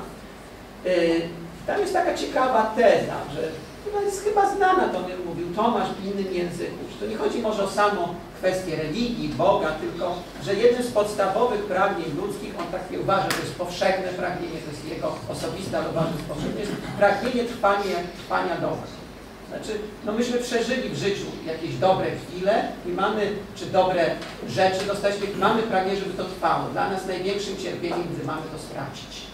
I no w tym sensie y, religia, wydaje mi się, no jest atrakcyjna i będzie atrakcyjna dla ludzi, tak głosi, y, głosi przesłanie, że te dobra mogą zostać utrzymane, utrwalone dzięki temu, że jest Bóg, no bo to jest jedyny sensu stricte trwały byt i on może to zrobić, utrzymać. Nie musi, ale może. I dlatego zawsze religia będzie dawała ludziom nadzieję, no to ona jest, będzie atrakcyjna, jest, była i będzie atrakcyjna. No przynajmniej minimalnie, co bym powiedział i wydaje mi się, pod tą tezą chyba y, spora część y, osób by się podpisała. Bardzo proszę Pani. Tematem spotkania jest, czy Bóg jest y, przydatny do wyjaśnienia świata. Właśnie, myślę, że świata wyjaśnić nie można, bo w świecie się dzieje tak szybko, tyle różnych procesów, że jest niemożliwe wyjaśnienie, tylko, ale jest możliwe w jakiś sposób wyjaśnianie. Prawda? Odnośnie tego, e, teraz tak, czy Bóg jest potrzebny? Padło, że Bóg jest czymś niewyjaśnialnym, że my go jesteśmy w stanie ogarnąć. Więc jak coś, co jest nie do zrozumienia, może pozwolić zrozumieć coś, w tym sensie świat. E, I jest tam jeszcze Paweł coś takiego o, mm, że może być zbiór pusty. Jeżeli myślimy, myślisz czymś, o czymś, to w tym momencie ten obszar, o którym myślimy, nie może już być zbiorem pustym, bo tam jest nasza myśl. Ja nie wiem, czy jasno mówię, ale potem było coś takiego, że e, tak mówiąc w skrócie, Bóg stworzył świat na swój wzór i podobieństwo, więc nasunęło mi się e, dziwne spostrzeżenie. Rzeczy najbardziej zauważalne w świecie. Wojna, agresja, cierpienie i brak wiedzy. Dalszy wniosek jest bardzo dziwny. E, teraz tak, Bóg stworzył z niczego. Nie można stworzyć z niczego. Odniesienie do twórczości muzyka, muzyk słyszy dźwięki. On w jakiś sposób słyszy tą melodię. On jeżeli ją później tworzy, to on się już posługuje czymś, co jest, a nie niczym. Więc ta analogia, ma się nijak. E, czy religie pomagają? To jest dziwne. Społeczności religijne w jakimś sensie tworzą takie jakby poczucie, że wspólnie dla siebie powinni być ludzie dobrzy, ale w obrębie tej społeczności innych, którzy tego nie przyjmują, ustawia na pozycjach kogoś gorszego, wręcz wroga. Więc nie wiem, czy jest jakiś plus w istnieniu religii. Jest jeszcze coś, że jeżeli mówi się, że to jest nie do wyjaśnienia, bo to tylko Bóg wie, to tak jakby się daje stop założeniu, że Bóg stwarzając ludzi na swój wzór i podobieństwo, a Bóg wie wszystko, no bo tu jest nieścisłość. Stworzył na podobieństwo siebie, czyli tego, który wie wszystko, a nam jest niemożliwe wiedzieć wszystko. To. To tak w skrócie. Filologów zaprosić, co oni rozumieją przez stworzenie. Za dużo rzeczy na raz y, chciałbym Ale Pani to zapytać, takie poruszyć, jakkolwiek były ciekawe pierwsze. Myślę, że to była jedna z pierwszych uwag, która do Pana Profesora Ja e, krótko, y, y, krótko powiedział, y, znaczy trzy tutaj sprawy, bo krótko powiedział. Pierwsza sprawa, myśmy tylko zadali pytanie, próbujemy sobie, dlaczego istnieje świat. I tylko o to chodzi. Ja nie, nie zajmuję się y, y, wyjaśnieniem wszystkich procesów, które są w świecie. Nie jestem w stanie. Nauki szczegółowe starają się przybliżyć y, przynajmniej część tych procesów, które się dzieją w świecie i wyjaśnię. Jest- inne pytanie. Pytanie bardzo abstrakcyjne, bardzo spekulatywne. Niektórzy uważają, że ono ma sens i próbuję na nie odpowiedzieć. Nie. Ja tylko postawiłem to pytanie, dlaczego istnieje świat, to można na nie odpowiedzieć. Dwa, czy Bóg jest niepojęty? Tym, y, jak nie broniłem żadnej tezy, że Bóg jest niepojęty, ja wyliczyłem pewną ilość cech na podstawie analizy pojęcia bytu koniecznego. I, ta analiza bytu, pojęcia bytu koniecznego prowadza nam, wy, umożliwia wyprowadzenie pewnych cech, no, takich jak niefizyczność, nieuwarunkowanie, y, doskonałość i tak. Oczywiście y, można to robić w bardziej precyzyjnej aparaturze formalnej, ale to znaczy, że to nie jest nic, że jest niepojęty. To problem y, niepojętości jest inny, to jest raczej problem religijny, tylko tutaj nie poruszę. Ostatnia sprawa, y, kreacjonizm, jeszcze tylko dopowiedzenie te, kreacjonizm nie jest jedyną odmianą teizmu. Y, Są inne, które unikają, bądź y, nie, nie zauważa się, jakby to się nazywa kreacją, to nie jest kreacją. Emanacjonizm neoplatoński. To jest przykład. Coś w rodzaju berkeleizmu. Znaczy, no, że świat istnieje przez to, że jest myślany. Także to nie, nie jest to konieczne przyjmowanie. Ja rozpatrywałem w mojej książce Społeczeństwie Boga, ja te wszystkie, y, znaczy znane mi koncepcje, jakaś odmiana taka platonizująca, y, czyli to takie stanowisko się dzisiaj nazywa aksjarchizmem, który mówi, że jakoś y, dobro ma charakter jakoś, który pociąga za sobą istnienie. Więc ja zrobiłem taką tabelkę wszystkich stanowisk i i próbowałem się nad nimi zastanawiać, wpisując plusy i minusy, jak one się mają do zdrowego rozsądku. W moim przekonaniu kreacjonizm jest najbardziej zdroworozsądkowy w stosunku do tych innych, ale być może na przykład emancjonizm lepiej byłoby przyjąć albo taki berkelejski. Że to tylko tyle. Bardzo proszę. Gębora, ja mam pytanie do pana profesora Woleńskiego, bo jakby wiemy, że drugi, e, drugi e, prelegent e, się określił wprost jako ateista. Chciałem zapytać, jakie jest pana stanowisko? Czy, czy pan jest e, stroną w tej dyskusji stroną agnostyczną, czy stroną ateistyczną, czy może jeszcze E, Wie pan, e, no tak, e, ja odróżniam, niektórzy mówią słaby ateizm, mocny ateizm, agnostycyzm, czy ateizm. Moje stanowisko jest agnostyczne, to znaczy ja uważam, że nie ma szans rozstrzygnięcia tego problemu, to znaczy on nigdy nie zostanie rozstrzygnięty. Z takiego oto powodu, że nie da się udowodnić nieistnienia Boga, formalnie się nie da po prostu, bo się nie dowodzi nieistnienia poza jednym wy, wypadkiem, prawda, kiedy obieg ewentualny jest sprzeczny. No ale wszystkie próby, prawda, dowodu, że Bóg nie istnieje, one nie przekonują w tym sensie, aż powiedziałbym tak, że to ma sprzeczne atrybuty. Właśnie mówią w tej książce o niemożliwości Boga, tyle że teista ma proste wyjaśnienie. No nie rozumiesz tego. U Boga właśnie tak jest. Że On wie wszystko, stworzył świat, wiedział dokładnie i tak dalej, ale człowiek jest wolny. No, no tak to jest. No i z tym już oczywiście nie ma dyskusji. Natomiast ja bym powiedział tak, ja mam, mój agnostycyzm jest ze wskazaniem ateistycznym. To znaczy ze względów praktycznych podzielam ateizm. Natomiast y, no, jestem w stanie, wbrew na przykład niektórym moim kolegom, tak zwanym nowym ateistom, którzy twierdzą, że oni dowodzą nieistnienia Boga, no to uważam, że się mylą. Ale mylą się tylko dlatego, że będzie miał zawsze to, to, to, to, to, to, to ucieczkę, prawda, no, typu kuzańskiego, ku- znaczy kuzańczyka.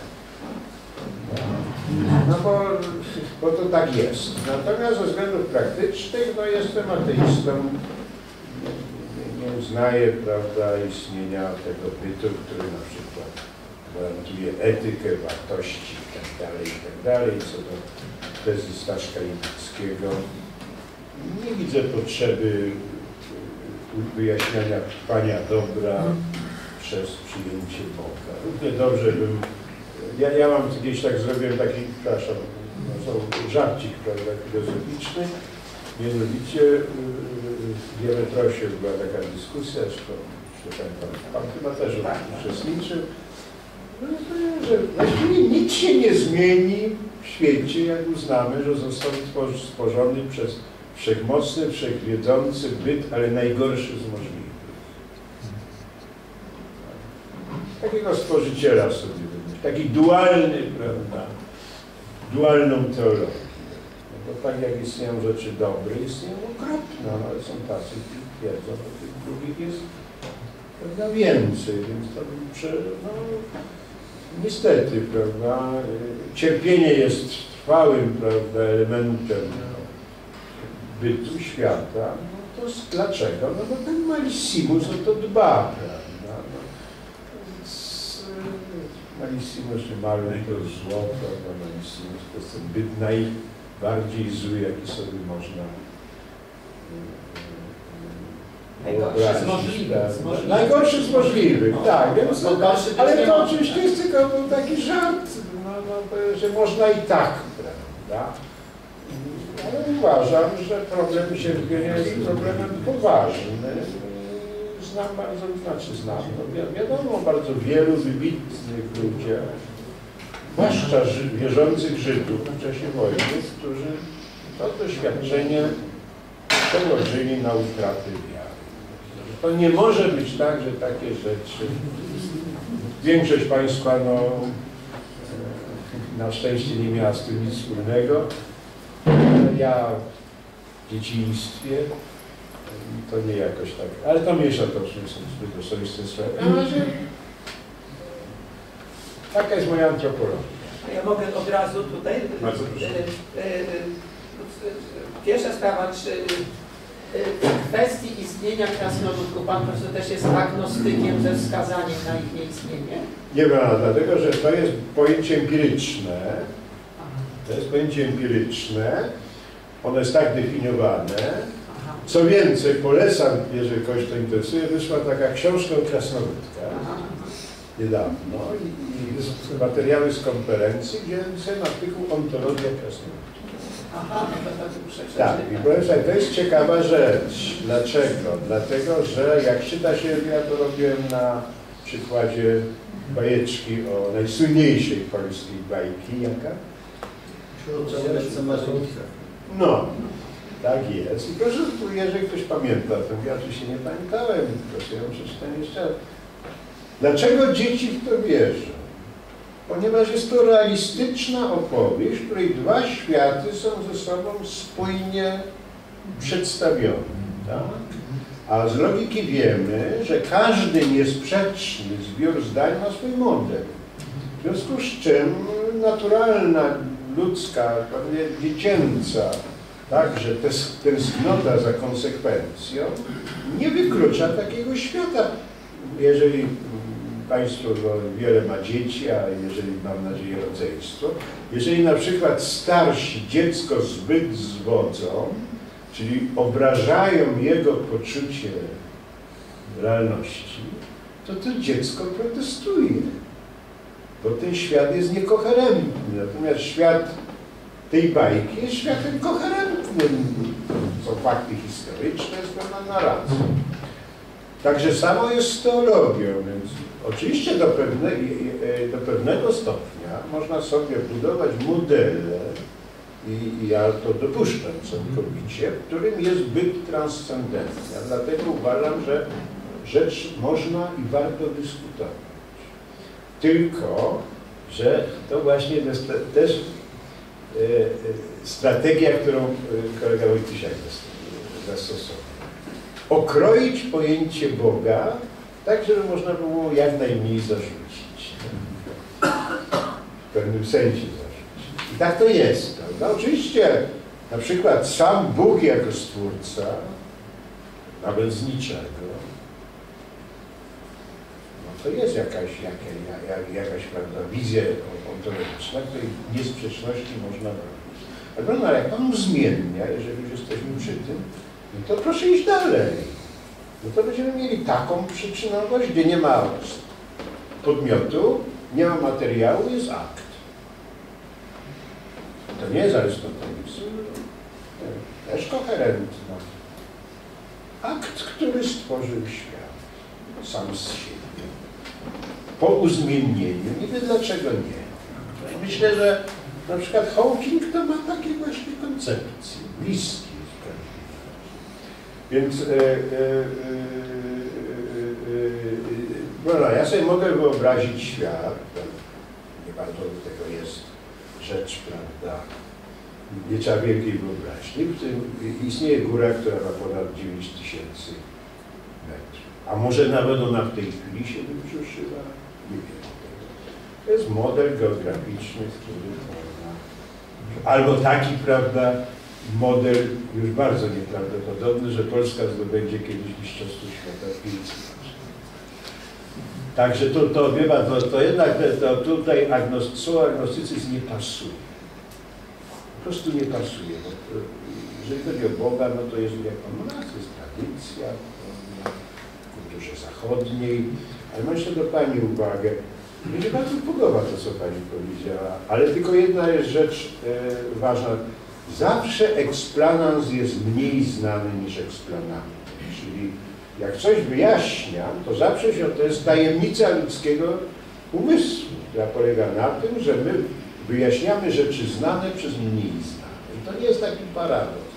A jeżeli chodzi o Boga, to uważam, ta nieznajomość jest jednak zbyt maksymalna, żeby to, to, to, to przyjąć. Natomiast jeszcze e, e, taka uwaga dotycząca, otóż etnologowie, przynajmniej o ile ja wiem, e, uważają, że e, wiele nam mówią religii afrykańskie.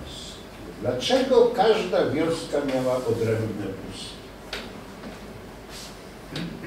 Otóż wyjaśnienie jest takie, że religia stanowiła niesłychanie istotny element do zarysowania czy do utrwalenia tożsamości wobec innych, czy też odrębności. Prawda? To znaczy, że społeczność lokalna tego typu, jak tam istnieje jeszcze do dzisiaj, czy istnieje jeszcze do dzisiaj, istotnym interesem społecznym było odróżnianie się od sąsiadów. I w związku z tym to wygenerowało między innymi religię, bo mm, to pewnie jeszcze dodatkowe czynniki musiały być, bo to jest jakby najprostszy sposób, prawda? Tak się wydaje przynajmniej etnologom, zarysowania czegoś, czyli tu Breza to pokazuje, że jednak funkcja społeczna religii nie może być ignorowana. Niezależnie od tego, czy ktoś wierzy w Pana Boga, czy nie wierzy, w jakiego Pana. No, że wiadomo jest rzeczą, jaką rolę judaizm odegrał w przetrwaniu narodu żydowskiego. prawda? Był to przez długi okres czasu jedyny wyróżnik, a nie musimy daleko tego szukać, a Polacy, a Litwini, prawda? wiele innych, Słowacy, którzy się tym właśnie od Czechów odróżniali, że byli społecznością bardzo prawda, skatolicyzowaną. Więc to, to, to, to te, te, te, te krytyki religii ze strony na przykład takich społecznych, nowych ateistów uważam są czasem niezrozumiałe. No, no, no.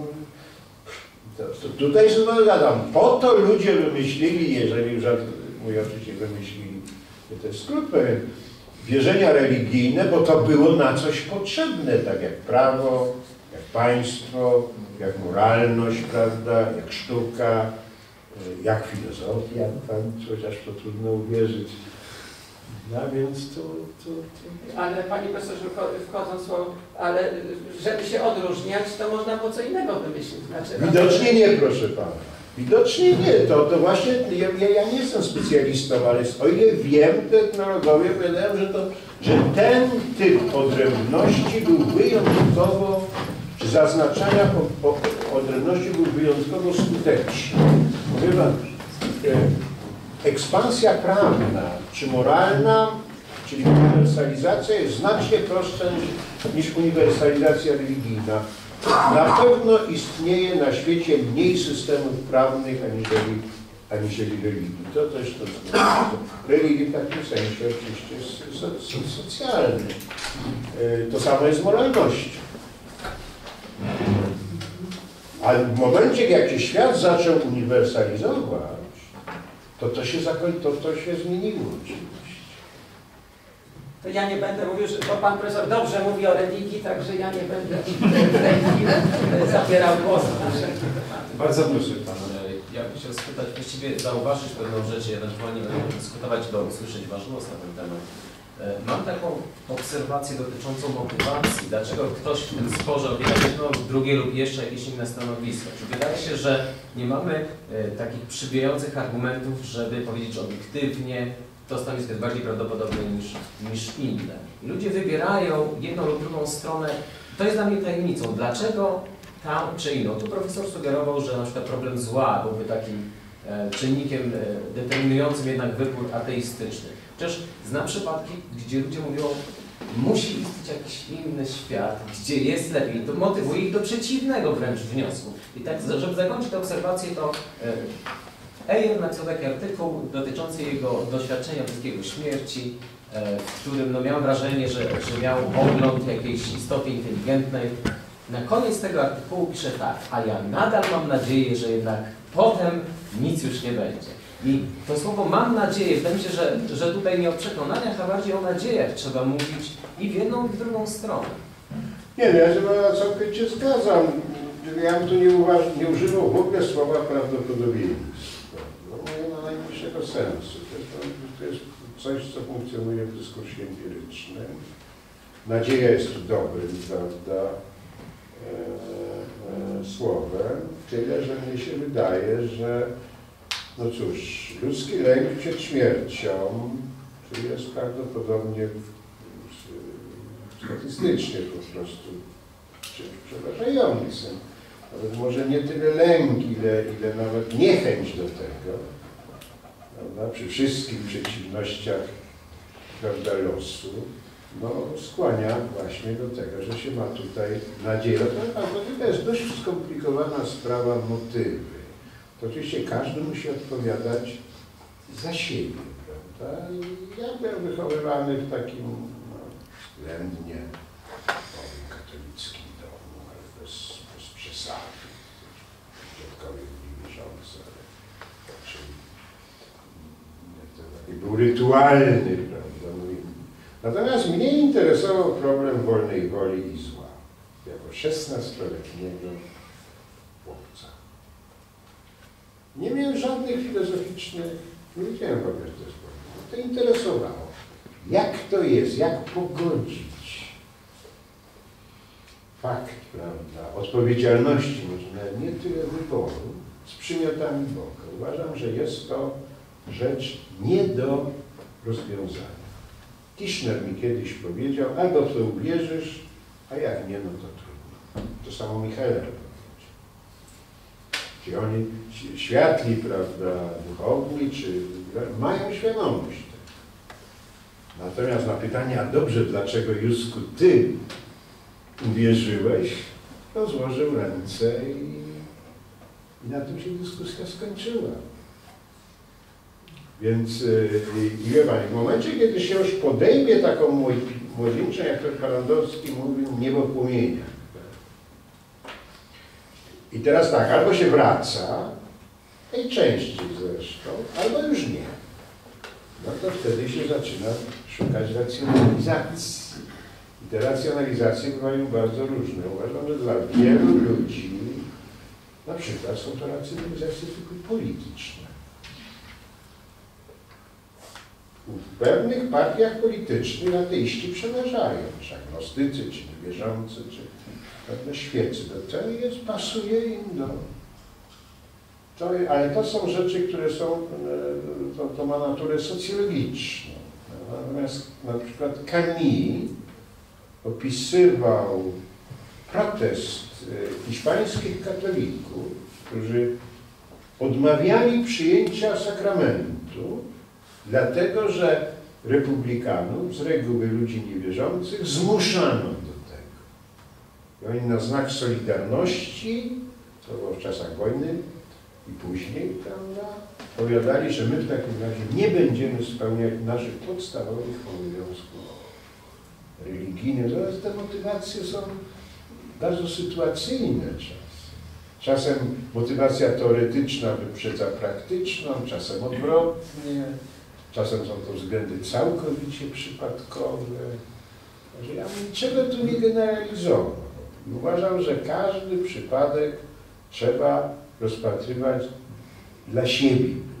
On jest, nie ma żadnej waloryzacji. Ja nie potrafię powiedzieć, czy zachowanie się człowieka wierzącego, dlatego, że on to zrobił jako wierzący, jest lepsze od zachowania, podobnego zachowania się człowieka niewierzącego, który z tych motywów. Przypadek ojca Kolbe No to będę, kto pierwszy w Polsce zwrócił uwagę na, na, na, na, postać Kolbego? Nie wiem, czy Państwo wiecie. Tadeusz Kotarpiński, niewierzący. I to w latach chyba jeszcze 50. Podał go jako przykład spolegliwego opiekuna, czyli człowieka o najwyższych standardach moralnych. Chociaż Kotarbiński oczywiście wiedział, jakie poglądy Kolbe miał wojną.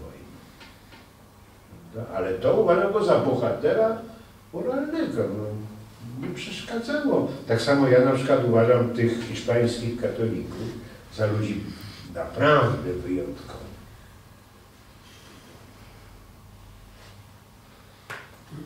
Pan chyba chciał coś. Jeśli można, to tak adwocem do tego porównania, że najgorszy z możliwych, prawda, źródłem y, świata, czyli, czyli antybóg, nazwijmy go tak. Jeżeli powiedzmy byłoby coś takiego, ale wtedy musiał być jego przeciwwaga, czyli ten Bóg, prawda? Y, tak jak w religiach powiedzmy Ormus Aryman. No ale wtedy powinno dojść do konfliktu między nimi. Nie. Można powiedzieć, że ten Bóg jest bezradny. No ale Tak jak wszystko, szatan jest, y, albo nie, nieskuteczny. Jeżeli, jeżeli mamy do czynienia powiedzmy z takim układem jak materia, układ materia, antymateria, dochodzi do anihilacji. No nie, ale. Tutaj musiałoby w analogiczny sposób taki mechanizm wystąpić. Załóżmy, że- no. Załóżmy, że jakieś tam byłyby powiedzmy na zasadzie efektu Leidenfrosta powiedzmy y, bufor powstałby, który by nie dopuszczał do takiej anihilacji. Załóżmy.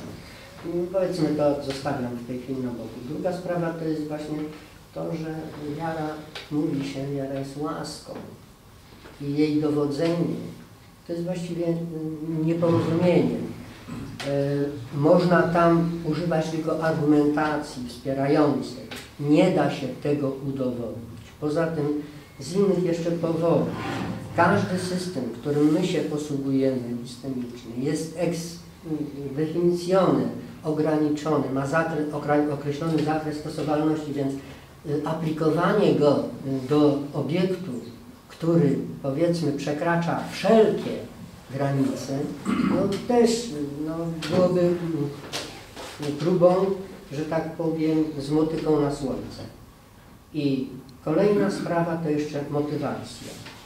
Otóż ja mam bardzo poważne wątpliwości, czy czynnik, który jest tej samej rangi ontycznej, czyli jest, mówiąc inaczej, immanentny, tkwi w świecie, y, posiada wystarczającą moc imperatywną, obligatoryjną do tego, żeby wywrzeć określone efekty, powiedzmy, decyzyjne i postępowanie, y, wymusić postępowanie moralne. Mam tutaj bardzo poważne wątpliwości. Yy, I tutaj właśnie też yy, Pan Profesor był uprzejmy podać yy, ten przykład, prawda, że miliard ludzi, prawda, niewierzących, ale proszę zwrócić uwagę, jakie są konsekwencje społeczne, polityczne i moralne. No jakie? No jak to jakie? Ciągle mamy wojny, ale tutaj jeszcze jedno zastrzeżenie, że mówimy nie o wierze deklaratywnej, że ktoś mówi, że on wierzy, tylko mówimy o wierze tej egzystencjalnej, która jest, wyznacza y, mój sposób bycia, sposób działania, nie tylko y, w stosunku do innych, ale i wobec mnie samego. Moje poglądy mnie zobowiązują, a nie innych, bo w tej chwili się stosuje taką zasadę, że jeżeli mam piękne ideały, to one na ogół są na eksport. I to jest właśnie główny problem właściwie dzisiejszych czasów. I tej, tego, tej dekadencji moralnej, co by nie mówić, przecież my w tej chwili obserwujemy niestety, ale rzeczywiście no, jakiś, jakąś atrofię życia moralno-duchowego. Zaraz, a czy Pan uważa, że teraz jest gorzej niż na przykład w II wojny światowej? Yy, zaraz, zaraz. Ja nie powiedziałem tego, że uważam, No nie, ale że gorzej się tylko, tylko, chwileczkę. W czasie II wojny światowej mieliśmy bardzo, sy- bardzo e, specyficzną sytuację, bo mieliśmy dwa e, prawda, mocarstwa kontynentalne, które miały podobne zasady działania. nie, ale nie, nie, już nie, nie bawmy się w politykę, bo to do niczego nie prowadzi. Pan, mimo wszystko, razie- mimo wszystko, Pan, no nie, nie, nie, ja się nie bawię w porównywanie nazizmu i komunizmu. Wiem, że to jest bardzo modny w pewnym gronie e, temat, natomiast żeby, ale nie chcę, żeby Pan odpowiadał. Ja Panu dam przykład, niech mi Pan powie teraz tylko jedno, tak lub nie. W Babim Jarze w czasie masakry Żydów, kiedy w ciągu dwóch dni y, y, y, zamordowano, rozstrzelano 400 40 tysięcy ludzi, tak się zdarzyło, że w chałupie, to koło Kijowa, znalazły się jakimś cudem dzieci żydowskie, w wieku od niemowlaka do 80 lat. Bez wody, bez jedzenia, e, starsze jadły wapno podobno. To dokładnie opisane. Żołnierze niemieccy No, różnych żołnierzy, którzy mieli rodziny, prawda, no, zaczęli, one krzyczały, płakały. tak.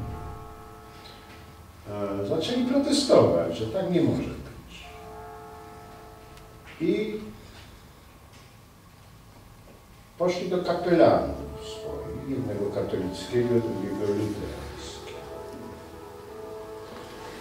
No, zwracając uwagę, że tak nie można traktować dzieci. I ci kapelani poszli do dowództwa i oświadczyli, że no, trzeba coś z tym zrobić, bo to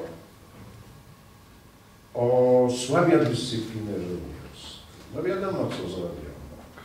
Wydano rozkaz zabicia tych dzieci. Kapelani nie proponowali tego, ale też nie proponowali żadnego innego wyjścia. Teraz tak, Pan powie, oni nie wierzyli tak jak trzeba.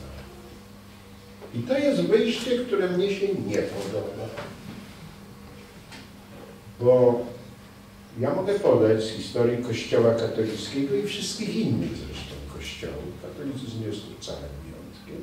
Przykłady no, podobnej atrofii moralnej, o której Pan mówi, czy nawet jeszcze gorsi. Tylko co to dowodzi? Jak można wyspecyfikować tych ludzi, którzy wierzą, tak jak Pan mówi, należy, nie deklarują i odróżnić od tych, którzy, O owocach. którzy deklarują tylko, prawda, Gott mit, mit uns, O owocach, panie a no profesorze. widzi Pan, no po owocach, no to co Pan, proszę Pana, no to ma Pan przykład, jak Panu chyba znany, jak się rozprawiono z jezuicką republiką w Anglii. Kto to robił? I na czyje polecenie? No więc zostawmy to, na, bo to, to do niczego ale nie prowadzi. ale Proszę Państwa, jeśli mogę przypomnieć nasze... prowadzi. Tak, tak, bardzo słusznie. Ja przypomnę nasze wcześniejsze ustalenie, że kwestii etycznych dotyczących e, religii nie podejmujemy dzisiaj. Tak. Taka była deklaracja, bo taka też istotna jest naszych debat. Także proponowałbym, jeśli Państwo macie ochotę, jak rozumiem, zabierać zdania w tej kwestii No, epistemologiczno-metafizycznej. Bardzo proszę Pani. Zeta Wyczewska, KUR. Ja mam pytanie przede wszystkim do Pana Profesora Woleńskiego, bo Pan poruszył tę kwestię, ale jeszcze bardziej cieszę się z tej uwagi. Czy Pan Profesor powiedziałby, że agnostycyzm ze wskazaniem na ateizm, taki jak, e, abs- abstrahując w ogóle od kwestii wiary religijnej, e, a więc także możliwości fizyczne, czy powiedziałby Pan, że ateizm ze wskazaniem na, agnostycyzm ze wskazaniem na ateizm jest stanowiskiem bardziej spójnym niż agnostycyzm ze wskazaniem na teizm, czy też to są y, równorzędne dwa stanowiska? No wie, wie Pani, ja nie bardzo rozumiem, jak teista może być agnostykiem, no ale to widocznie może być, więc... Są mistycy. A no nie, nie, no ale oni wierzą, więc... Więc... No ale dobrze, no. Wydaje mi się, że... Czy spójny, niespójny. Wydaje się bardziej konsekwentny. Bo, bo mistycyzm to nie jest takie znowu, że, że ja nie mam argumentu.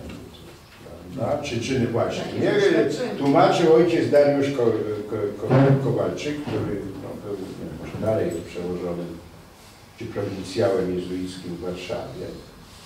Kiedyś się podobna dyskusja, która ma trochę inny temat. Że akt wiary konstytuuje swój przedmiot. Ja mu, ja mu, ja mu tłumaczyłem, y, y, proszę ojca, ale no to nie bardzo jest. To musi coś być więcej. Czyli to jest inny typ wiary, niż na przykład, no ja wierzę sobie, znaczy mam tą taką. No na przykład, że ja wiem, o, przepraszam, że Argentyna wygrała ze Szwajcarią. Czy to konstytuuje wynik tego meczu? Nie. Ale z uwagi na rozmaite dane, które ja się akurat na piłce nożnej znam, bo sam kiedyś grałem, prawda, no wydaje mi się, że raczej byłoby niespodzianką, że Argentyna ten mecz przegrała, że tak co wie.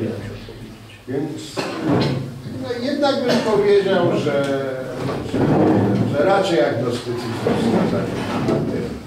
Ale proszę to jest stanowisko filozoficzne. Ja, niektórzy coś tam wiedzą o mojej metafilozofii. Uważam, że zagadnienia filozoficzne nie dadzą się uzasadnić, czy rozstrzygnąć. Są nierozstrzygalne w takim sensie, w jakim rozstrzygalne są kwestie matematyczne, y, czy zakresu prawda, fizyki, czy nawet zakresu empirycznych badań społecznych, czy nawet z historii. Po prostu nie, my mamy pewien, znaczy to są trwałe kwestie, one się pojawiły dawno, ale to jest jakiś element naszego sposobu myślenia, że one powracają, że my szukamy języków, którymi to potrafimy wyrazić. Te języki są bardzo wielu rzeczy zależne. Mój język jest taki, żebym chciał, aby te argumentacje były możliwie zbliżone do argumentacji empirycznych czy dedukcyjnych. Tak? I wydaje mi się, że czasami to się udaje osiągnąć.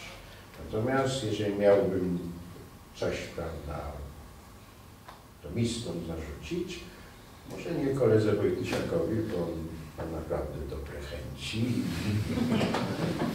sporo osiągnął, tylko chodzi o chęci, to że oni oznajmiają ciągle, prawda, że coś rozstrzygają, to tak rozstrzygają niemalże lepiej niż matematycy, no ale jakoś tak nie bardzo się starają, żeby te argumenty na ogół były, prawda.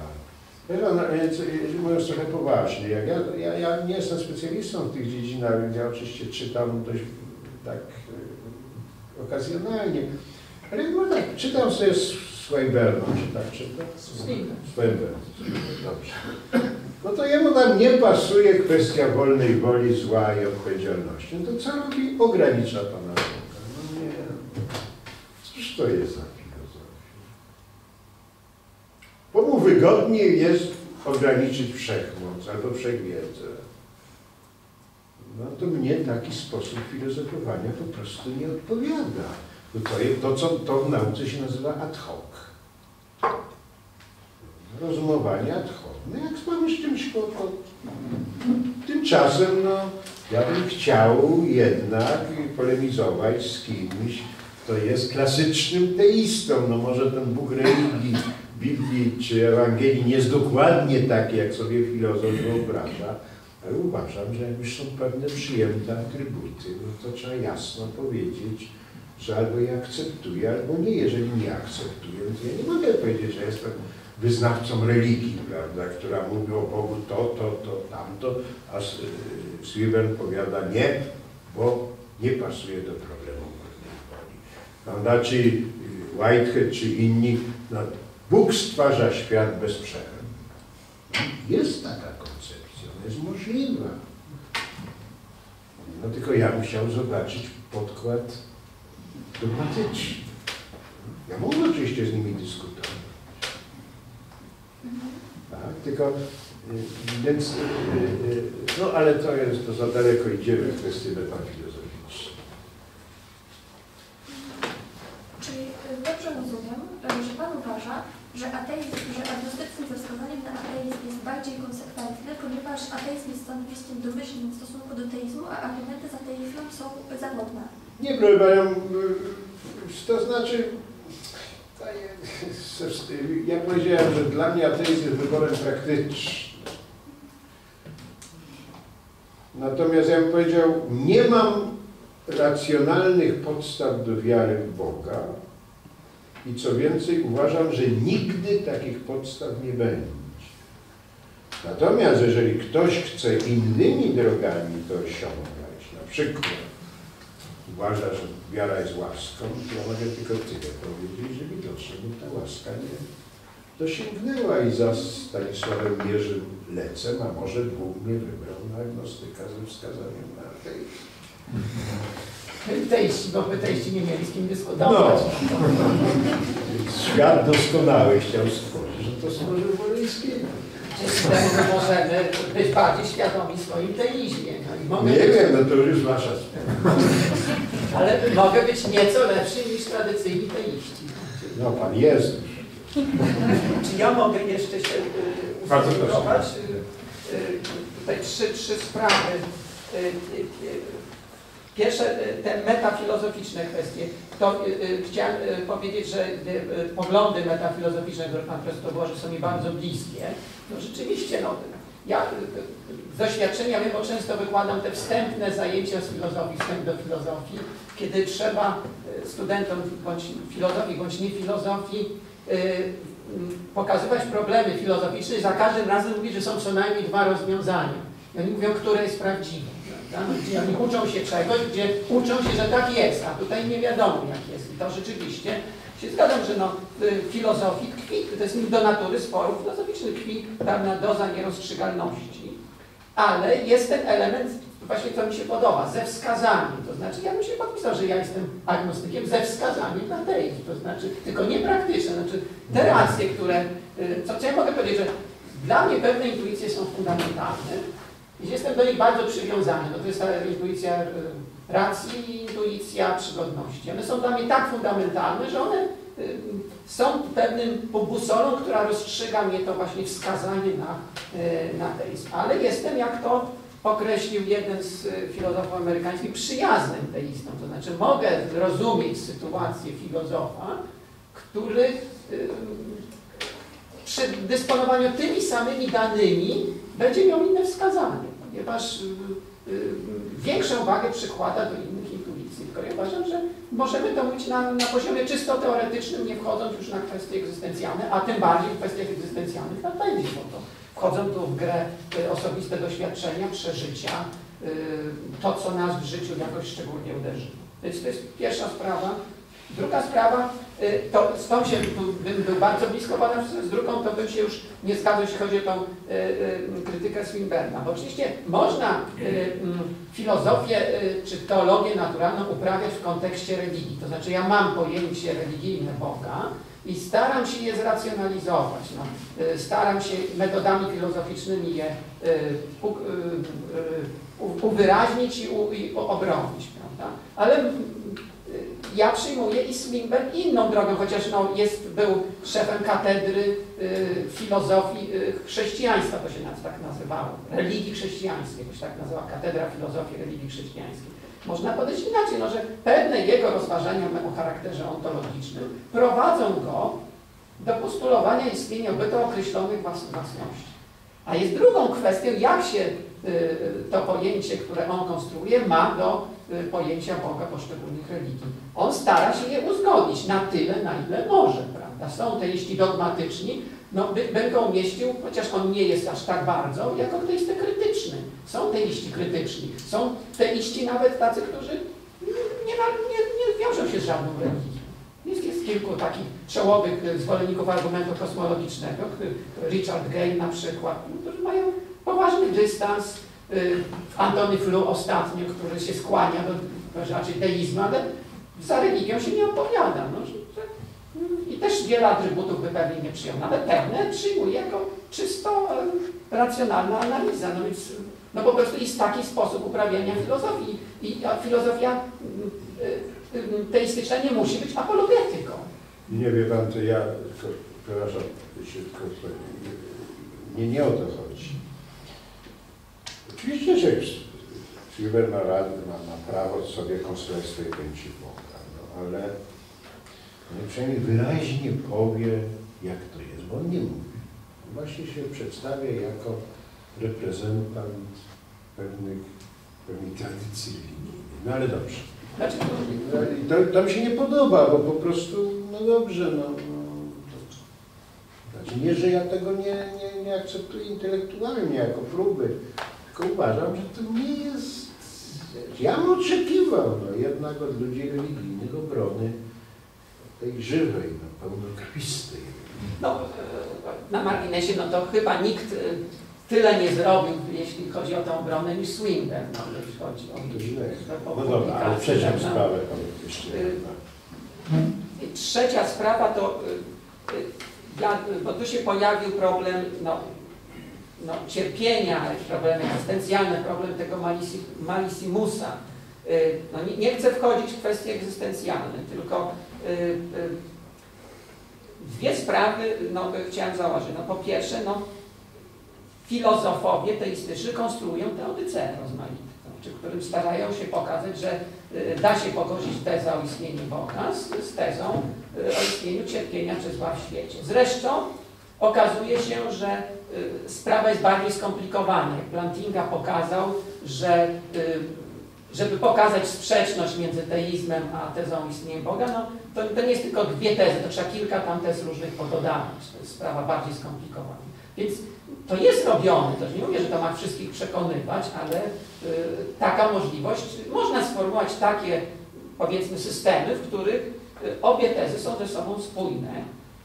Można sformułować tak, jak to robi teizm tak zwany sceptyczny, który y, mówi, że no, to odwołuje się no, do tego, co tutaj było sugerowane, y, no jakiejś tajemnicy. Może my nie wiemy, dlaczego tak jest, ale y, może kiedyś się tego dowiemy, prawda? Natomiast no, nasza niewiedza, że można to uzgodnić, jeszcze nie byłaby dowodem tego, że tego się w ogóle uzgodnić nie da. Więc to, co, co do tej kwestii. No co do kwestii Malismusa, no, y, y, ja wiem, że to był y, żart pewien, ale mich, y, miałem tylko taką wątpliwość co do takiej konstrukcji intelektualnej, że Malissimus nie jest bytem koniecznym. Znaczy, no, ponieważ y, tutaj y, pan profesor, jeż- jeżeli w moim dyskursie mnie interesuje byt konieczny, a byt konieczny nic nie musi, prawda? Nie musi robić żadnego zła, nie musi objawiać swojej złośliwości, to jest mu niepotrzebne. Ale musi stworzyć świat. Nie musi Dlaczego? nie musi, No, w tej klasycznym teizmie Nie. nie musi no, stwarzać nie musi stwarzać. A kto panu powiedział, że Malissimus musiał to zrobić? Zrobił. Dokładnie tak samo, Tam, nawet. oczywiście może, to, bo ja pamiętam, ym, trzymał pana profesora za słowo, tam było, że pan profesor użył słowa, on potrzebuje, takie było słowo. A Może nie, to była no to- taka figura No nie, stylistyczna. oczywiście pana tak może powiedzieć, że Bóg potrzebuje, na, że- żeby go wielbić. No, no to, ale to jest, no ale to rzeczywiście jest metafora, no. To jest metafora, no. Ty- A, Kręci, tu jak pan kręci głową. No ale mi- ja się nie chcę spierać jeszcze raz w sprawie teologicznej. No to Kościół nas o tym uczy.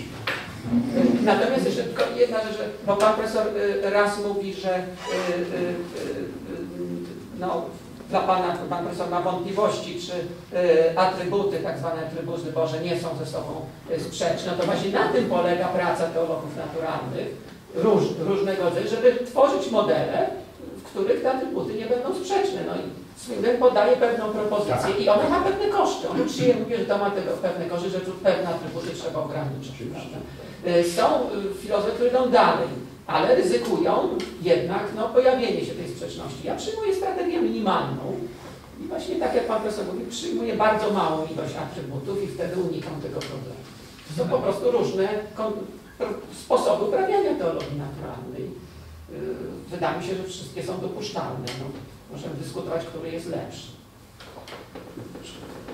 Chciałbym jedną kwestię językową dodać, bo nie byłem pewny, czy dobrze interpretuję wypowiedź profesora Waleńskiego. Profesor powiedział, nie znajduje racjonalnych podstaw, żadnych racjonalnych podstaw do przyjęcia poglądu teistycznego, to od razu wybiegłem do przodu i zastanawiałem się, czy z tego mogę wywnioskować, że nie uznaję też racjonalności przekonań teistycznych u innych osób, czy to nie są tożsame znaczeniowo wyrażenia i dałoby się pogodzić odrzucenie racjonalnych postaw, jeśli chodzi o własny poglądu, natomiast uznanie racjonalności przekonań, na przykład adwersarza tutaj obok. Pan, ja nie mogę, nie mogę oczywiście odpowiadać za czyjeś rozumienie racjonalności. Jest to słowo wartościujące. Mogę powiedzieć tyle, że jeżeli za racjonalne uważam przekonania, które są albo uzasadnione, albo przyjęte bezdowodnie, jak aksyoma, ale muszę mieć wtedy rację, prawda? jakiś tam prawda, motywy, albo wywiedzione sposobami dopuszczalnymi dla ojca, twierdzone empirycznie, niestety nie bardzo wiadomo na czym to do końca miało polegać, to, yy, to powiem tak, że wydaje mi się, że potrafię pokazać, że wszystkie dowody na istnienie Boga nie dowodzą tego, co by chciały są zamierzone. że wskazują na rację, chociaż nie dowodzą? Nie dowodzą, w sensie dedukcyjnym, jeżeli się to trak- traktuje jak to jako dowód dedukcyjny. E, I to robiono wielokrotnie i jeżeli jednak są tacy, wręcz się da usprawnić, Ocheński tak sądził, ale na przykład tylko niektórych. Nie o wszystkich, co ciekawe. Nawet dość ironicznie się wyrażał, że tą czwartą i piątą drogę to chyba się zmęczy. Ale ja tego usprawnienia nie znalazłem. A to oczywiście kwestia otwarta, z tego, że... Natomiast ta druga sprawa, to dla mnie podstawowy argument, argument jest taki. Języki są niespójne. W tym sensie, że teisty, y, no, klasyczne teistyczne pojęcie Boga nie ma legitymacji empirycznej. Nie ma, to znaczy atrybuty, które się Bogu przypisuje, nie mogą być egzemplifikowane empirycznie. Wszechmoc, wszechwiedza, przez analogię owszem, ale to nie jest żadna egzemplifikacja. I dlatego to połączenie tej racjonalności, nazwijmy to empirycznej, z tak wyrażonymi stwierdzeniami na temat Boga, jak to jest właśnie w klasycznym teizmie, ono jest niespójne, nie w sensie logicznym, oczywiście, nie chodzi o sprzeczność logiczną, tylko to tak jakby się powiedziało, no przepraszam za to, no to nie, ja nie chcę nikogo obrażać oczywiście, no, że świat jest poruszany przez jakiegoś ducha, prawda, który tam tak, kręci w środku prawda, ziemi i tak dalej. Tak. No, to można to przyjąć, ale co to są za argumenty? Jeszcze można Także, natomiast ja nie mogę odpowiadać, jeżeli profesor Wojtysiak uważa, że jego pogląd jest racjonalny, no to to jest jedno, czym się różnimy po prostu. Różnimy się w kryterium racjonalności. No bo jeżeli ktoś powiada, że racjonalna jest taka ewentualność, której byt ponadempiryczny decyduje o własnościach świata empirycznego, to ja się z tym nie zgadzam. No. Po prostu yy, poznanie tego bytu przekracza nasze zdolności poznawcze, te, które uważamy za nam przyrodzone. To jest taki naturalizm w sensie. Prawda? Natomiast no, jest to widocznie inne pojęcie racjonalności, którego ja nie potrafię oczywiście zakwestionować, no bo tu jest ta zasada racji, racja, racjonalność i tak dalej, i tak dalej. Dlatego nie powiedziałem, ale powiem, ja nie bardzo rozumiem pytania Leibniza. Uważam, że on się fundamentalnie pomylił przy całej swojej genialności. Mianowicie pytanie jest takie, dlaczego miałoby istnieć nic, skoro istnieje coś? A on tłumaczył to on i inni, że nic jest prostsze. Nieprawda. Nic jest bardziej skomplikowane, bo zawiera, zawiera negację. To jest proste tak logiczne. To jest pojęcie o większej złożoności logicznej, niż pojęcie czegoś. Więc ja bym odwrócił to pytanie. I szukałbym racji, dlaczego miałoby nie istnieć coś. Skoro Dlaczego tak by miało być? Dlaczego ten zbiór pusty miałby być? Wydaje mi się to znacznie bardziej racjonalne niż aniżeli prawda, pytanie Leibnica. I uważam, że pytanie Leibnica sprowadziło bardzo wielu filozofów na manowce. Nawet się nie trzeba do Heideggera wyczepiać, no bo to prawda. Był argument za nieracjonalnością przekonania z tego właśnie powodu. Wie pan, nie chcę tak twierdzić. Ja potrafię podać powód. Natomiast no, nie mogę odmówić komuś racjonalności. Na przykład ja mistykowi nie mogę odmówić racjonalności. Mistycy się potrafią rozumieć bardzo racjonalnie na przykład. Trzeba też odróżnić racjonalność praktyczną, teoretyczną. Na przykład Tischner, no cóż, no Tischner mówił, że on nadawał spójność swoim poglądom przez to, że to jest tajemnica. A spójność jest niesłychanie racjonalną cechą e, przekonań. No i co można takiego czegoś? Że jesteś nieracjonalny, drogi Jusku? Nonsens, prawda? Ja mogę się tutaj, bo, bo to y, padło rzecz, której oczekiwałem o tym, o tym nic. Y, y, Ale to jeszcze zanim do, do tych wcześniejszych kwestii, to znaczy moje stanowisko tutaj w nawiązaniu do wypowiedzi pana profesora. To znaczy no są poprawne, formalnie poprawne dowody dedukcyjne na istnienie wody. Bokański pokazał, o ile pamiętam, pierwszą drogę można, ale ona jest formalnie poprawna, natomiast twierdzi, że przesłanki no, świetle współczesnej wiedzy są bądź jawnie fałszywe, bądź problematyczne. Więc wydaje mi się, że to możemy sformułować, że właściwie chyba nie jest dla człowieka sprawnego formalnie nie jest problem sformułować poprawne, dedukcyjne rozumowanie, z którego wnioskiem jest Bóg istnieje. Jest problem dyskusji przesłanek. No.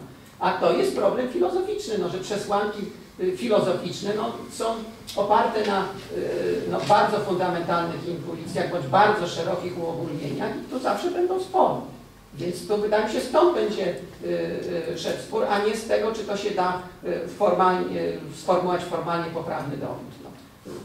Kto jest sprawny formalnie, no to Bocheński zrobił. No akurat pierwsze dwie się nadawały, pozostałe się y, nie nadawały, chociaż inni robił to na złość też pewnym tomistom, którzy najbardziej się fascynują tamtymi.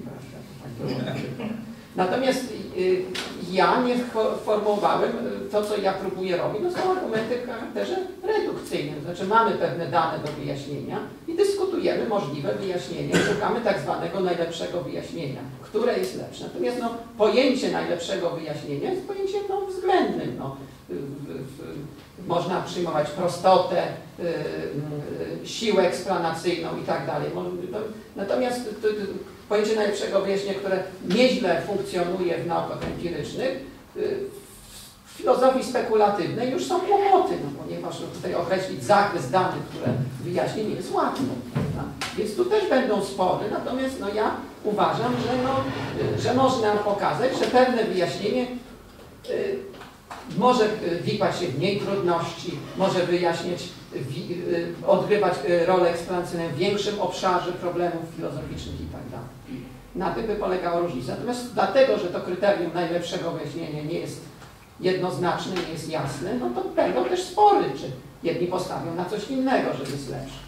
I teraz jest kwestia analizy konceptualnej, bo to też jest problem filozoficzny i też jest, stąd się bierze różnica zdań między filozofami. Dla pana profesora pojęcie nicości jest pojęciem no, szalenie skomplikowanym. Nie szalenie. To znaczy Bardziej skomplikowanym niż pojęcie czegoś. Tak.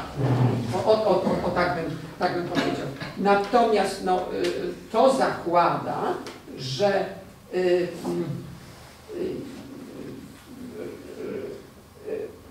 że przedmiot,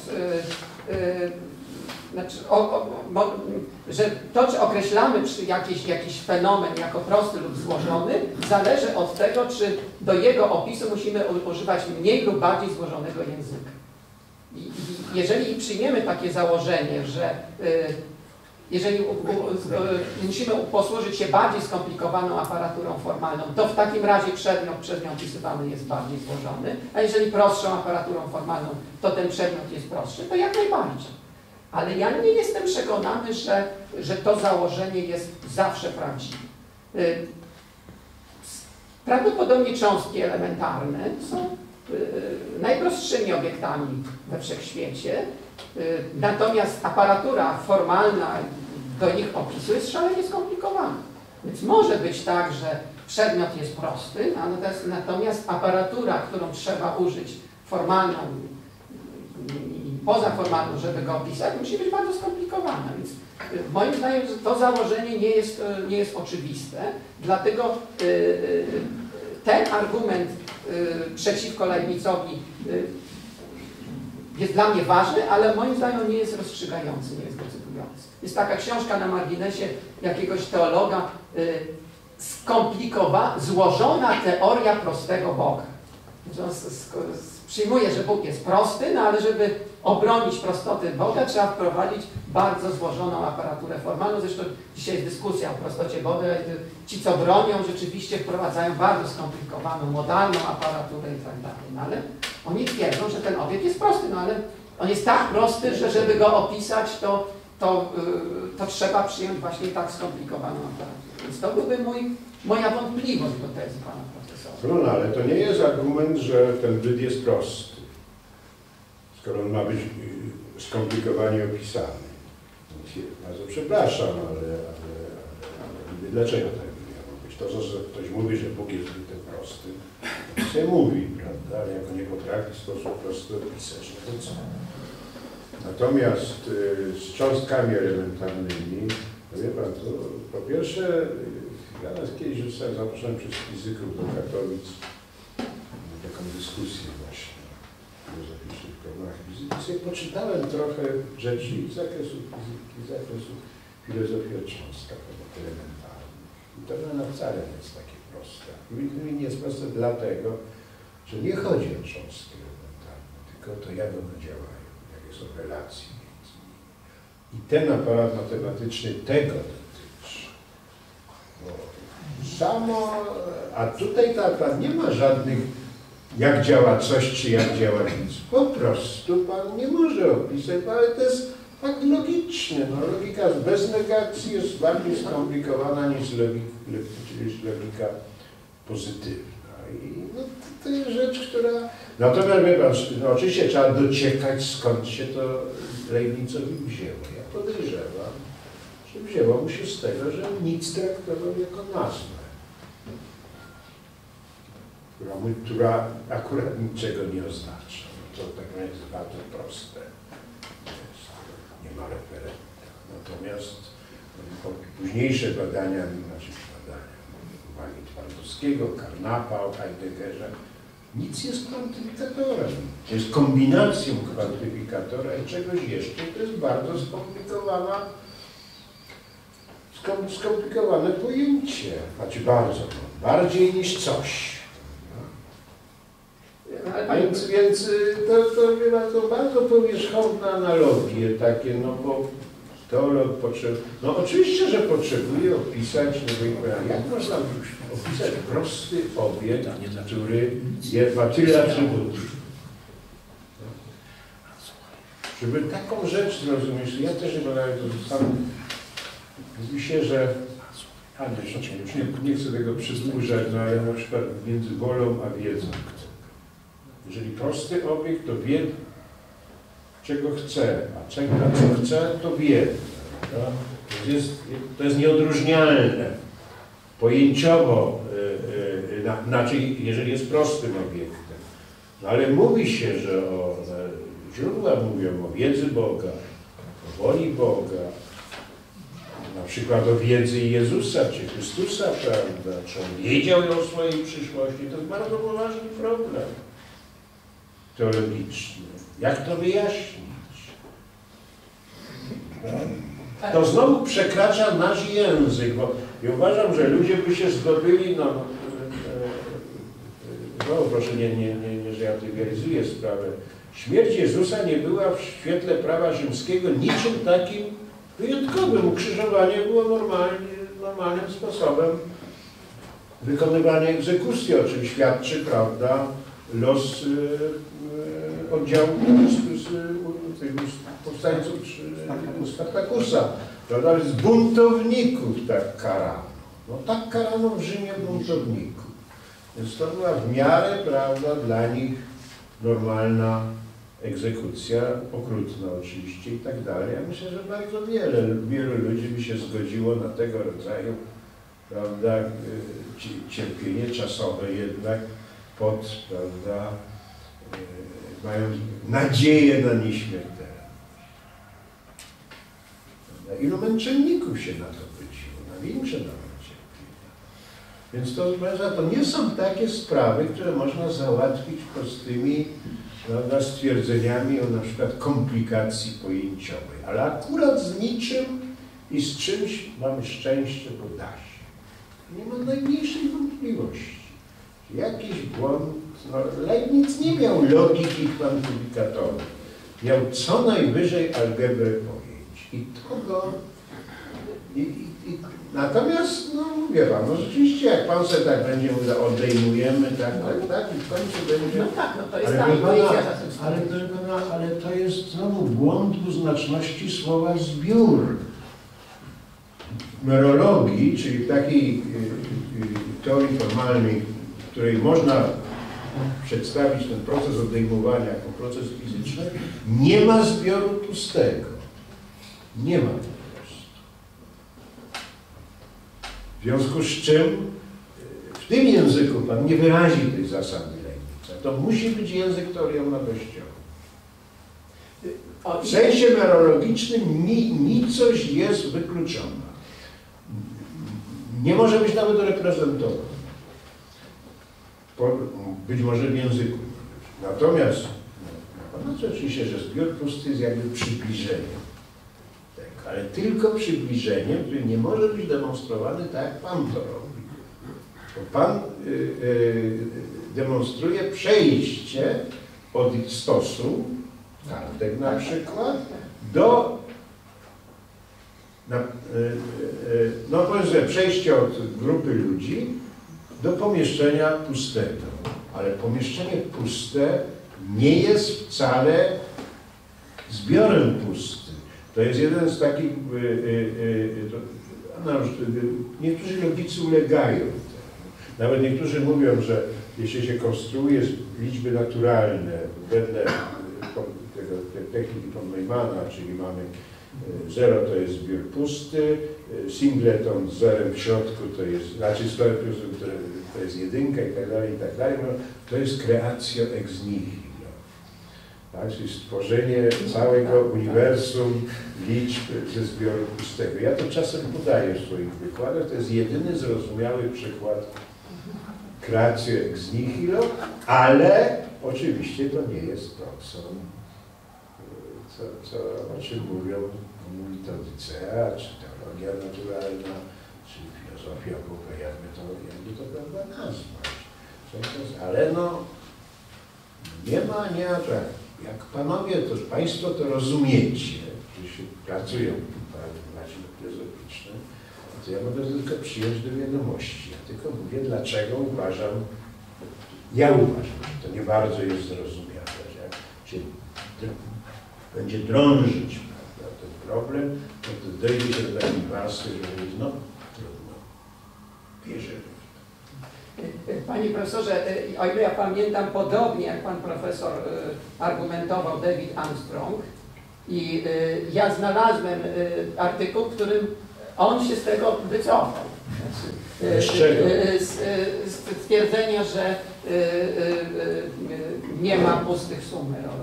On się, on się Ale to wycofał. prawda, Armstrong się z bardzo wielu rzeczy wycofał. To tak na Kiedyś marginesie, to taki nie wspaniały argument prawda, podał no, w jakiejś dyskusji, no, w jakiejś książce, e, e, w której mu się wydawało, prawda, że e, ty po prostu pomieszał tak zwaną s- niesprzeczność i omega niesprzeczność. Że pytałem Dawidzie, a co ty, e, czy, czy to, coś ci to mówią? A co to jest ta omega niesprzeczność? To, to nie jest człowiek, który tak jest za sprawny w kwestiach formalnych. Natomiast to jest inna sprawa, no, kwestie formalne czy formalna merologia i na zastosowanie jej w ontologii, prawda? Dobrze, No, no, może niech będzie pusta suma merologiczna, no ale jakoś mi to... Ja, ja pracuję w klasycznym systemie formalnym Leśniewskiego, ulepszonym tam przez innych i tam zbioru pustego nie ma. Fistek zresztą, który był teorią wartościowcem, krytykował Leśniewskiego, mówiąc, że nie podoba mu się zbiór pustka, to jest matematycznie absurd. To znaczy Fistek. Znaczy, tylko jest kwestia taka, czy my w filozofowaniu, y, czy to jest tak, że my y, mamy już jakąś teorię formalną i ona jest kryterium do y, sprawdzania test y, ontologicznych, czy na odwrót, my mamy pewne intuicje ontologiczne i dla, dla nich robimy sobie Proszę pana, trzeba zrobić, co trzeba zrobić teorię. Dopóki takiej teorii nie ma, a mówicie Państwo o zbiorze pustym, to niewiele znaczy. To jest zastąpienie, no bo tutaj jak wielu filozofów po prostu wprowadzi symbol, zastąpi słowo symbolem, powie, to jest kombinacja dwóch symboli, tylko nie wiadomo na czym ta kombinacja polega. To mój wieczny spór z Leszkiem Nowakiem, który tak lubią formalizować.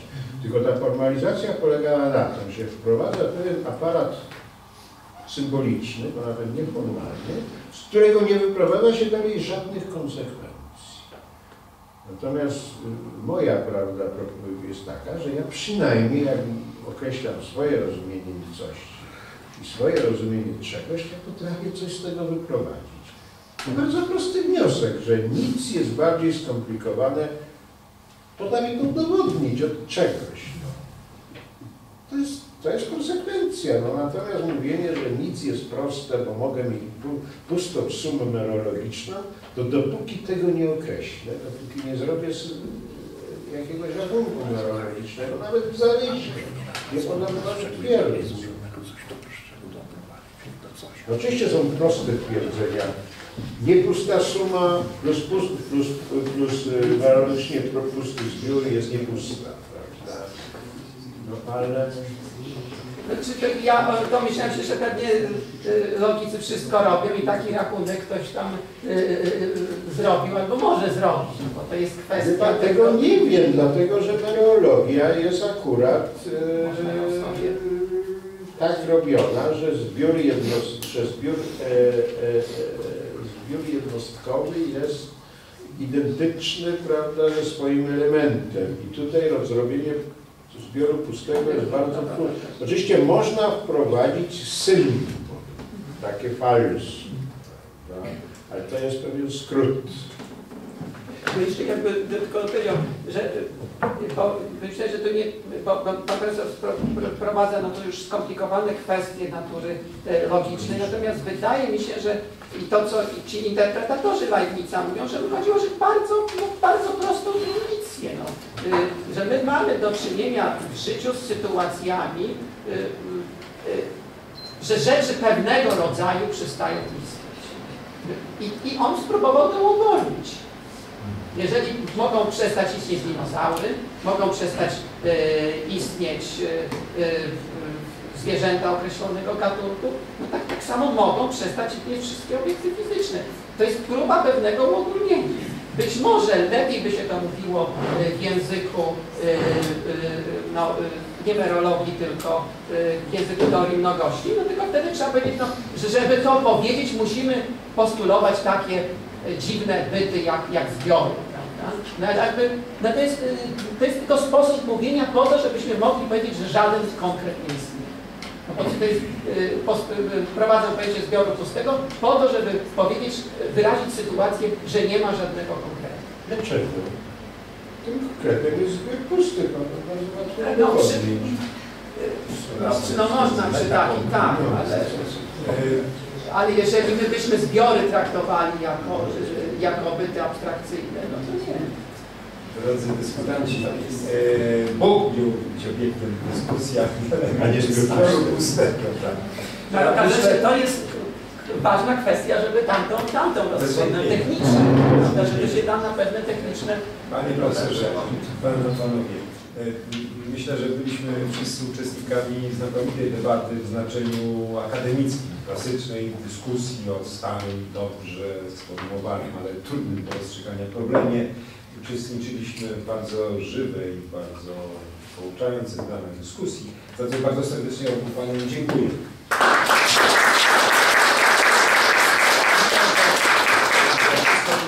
korzyść taką, że mamy poczucie, iż pewne rzeczy nie zostały dopowiedziane, niekoniecznie w tych szczegółach, ale te kwestie dotyczące etyki i religii są naprawdę ważne. Myślę, że moglibyśmy taką debatę jeszcze kiedyś tutaj zainicjować, co Państwu obiecuję, a dzisiaj szczególnie e, za Waszą Państwa też obecność dziękuję i zamykam posiedzenie.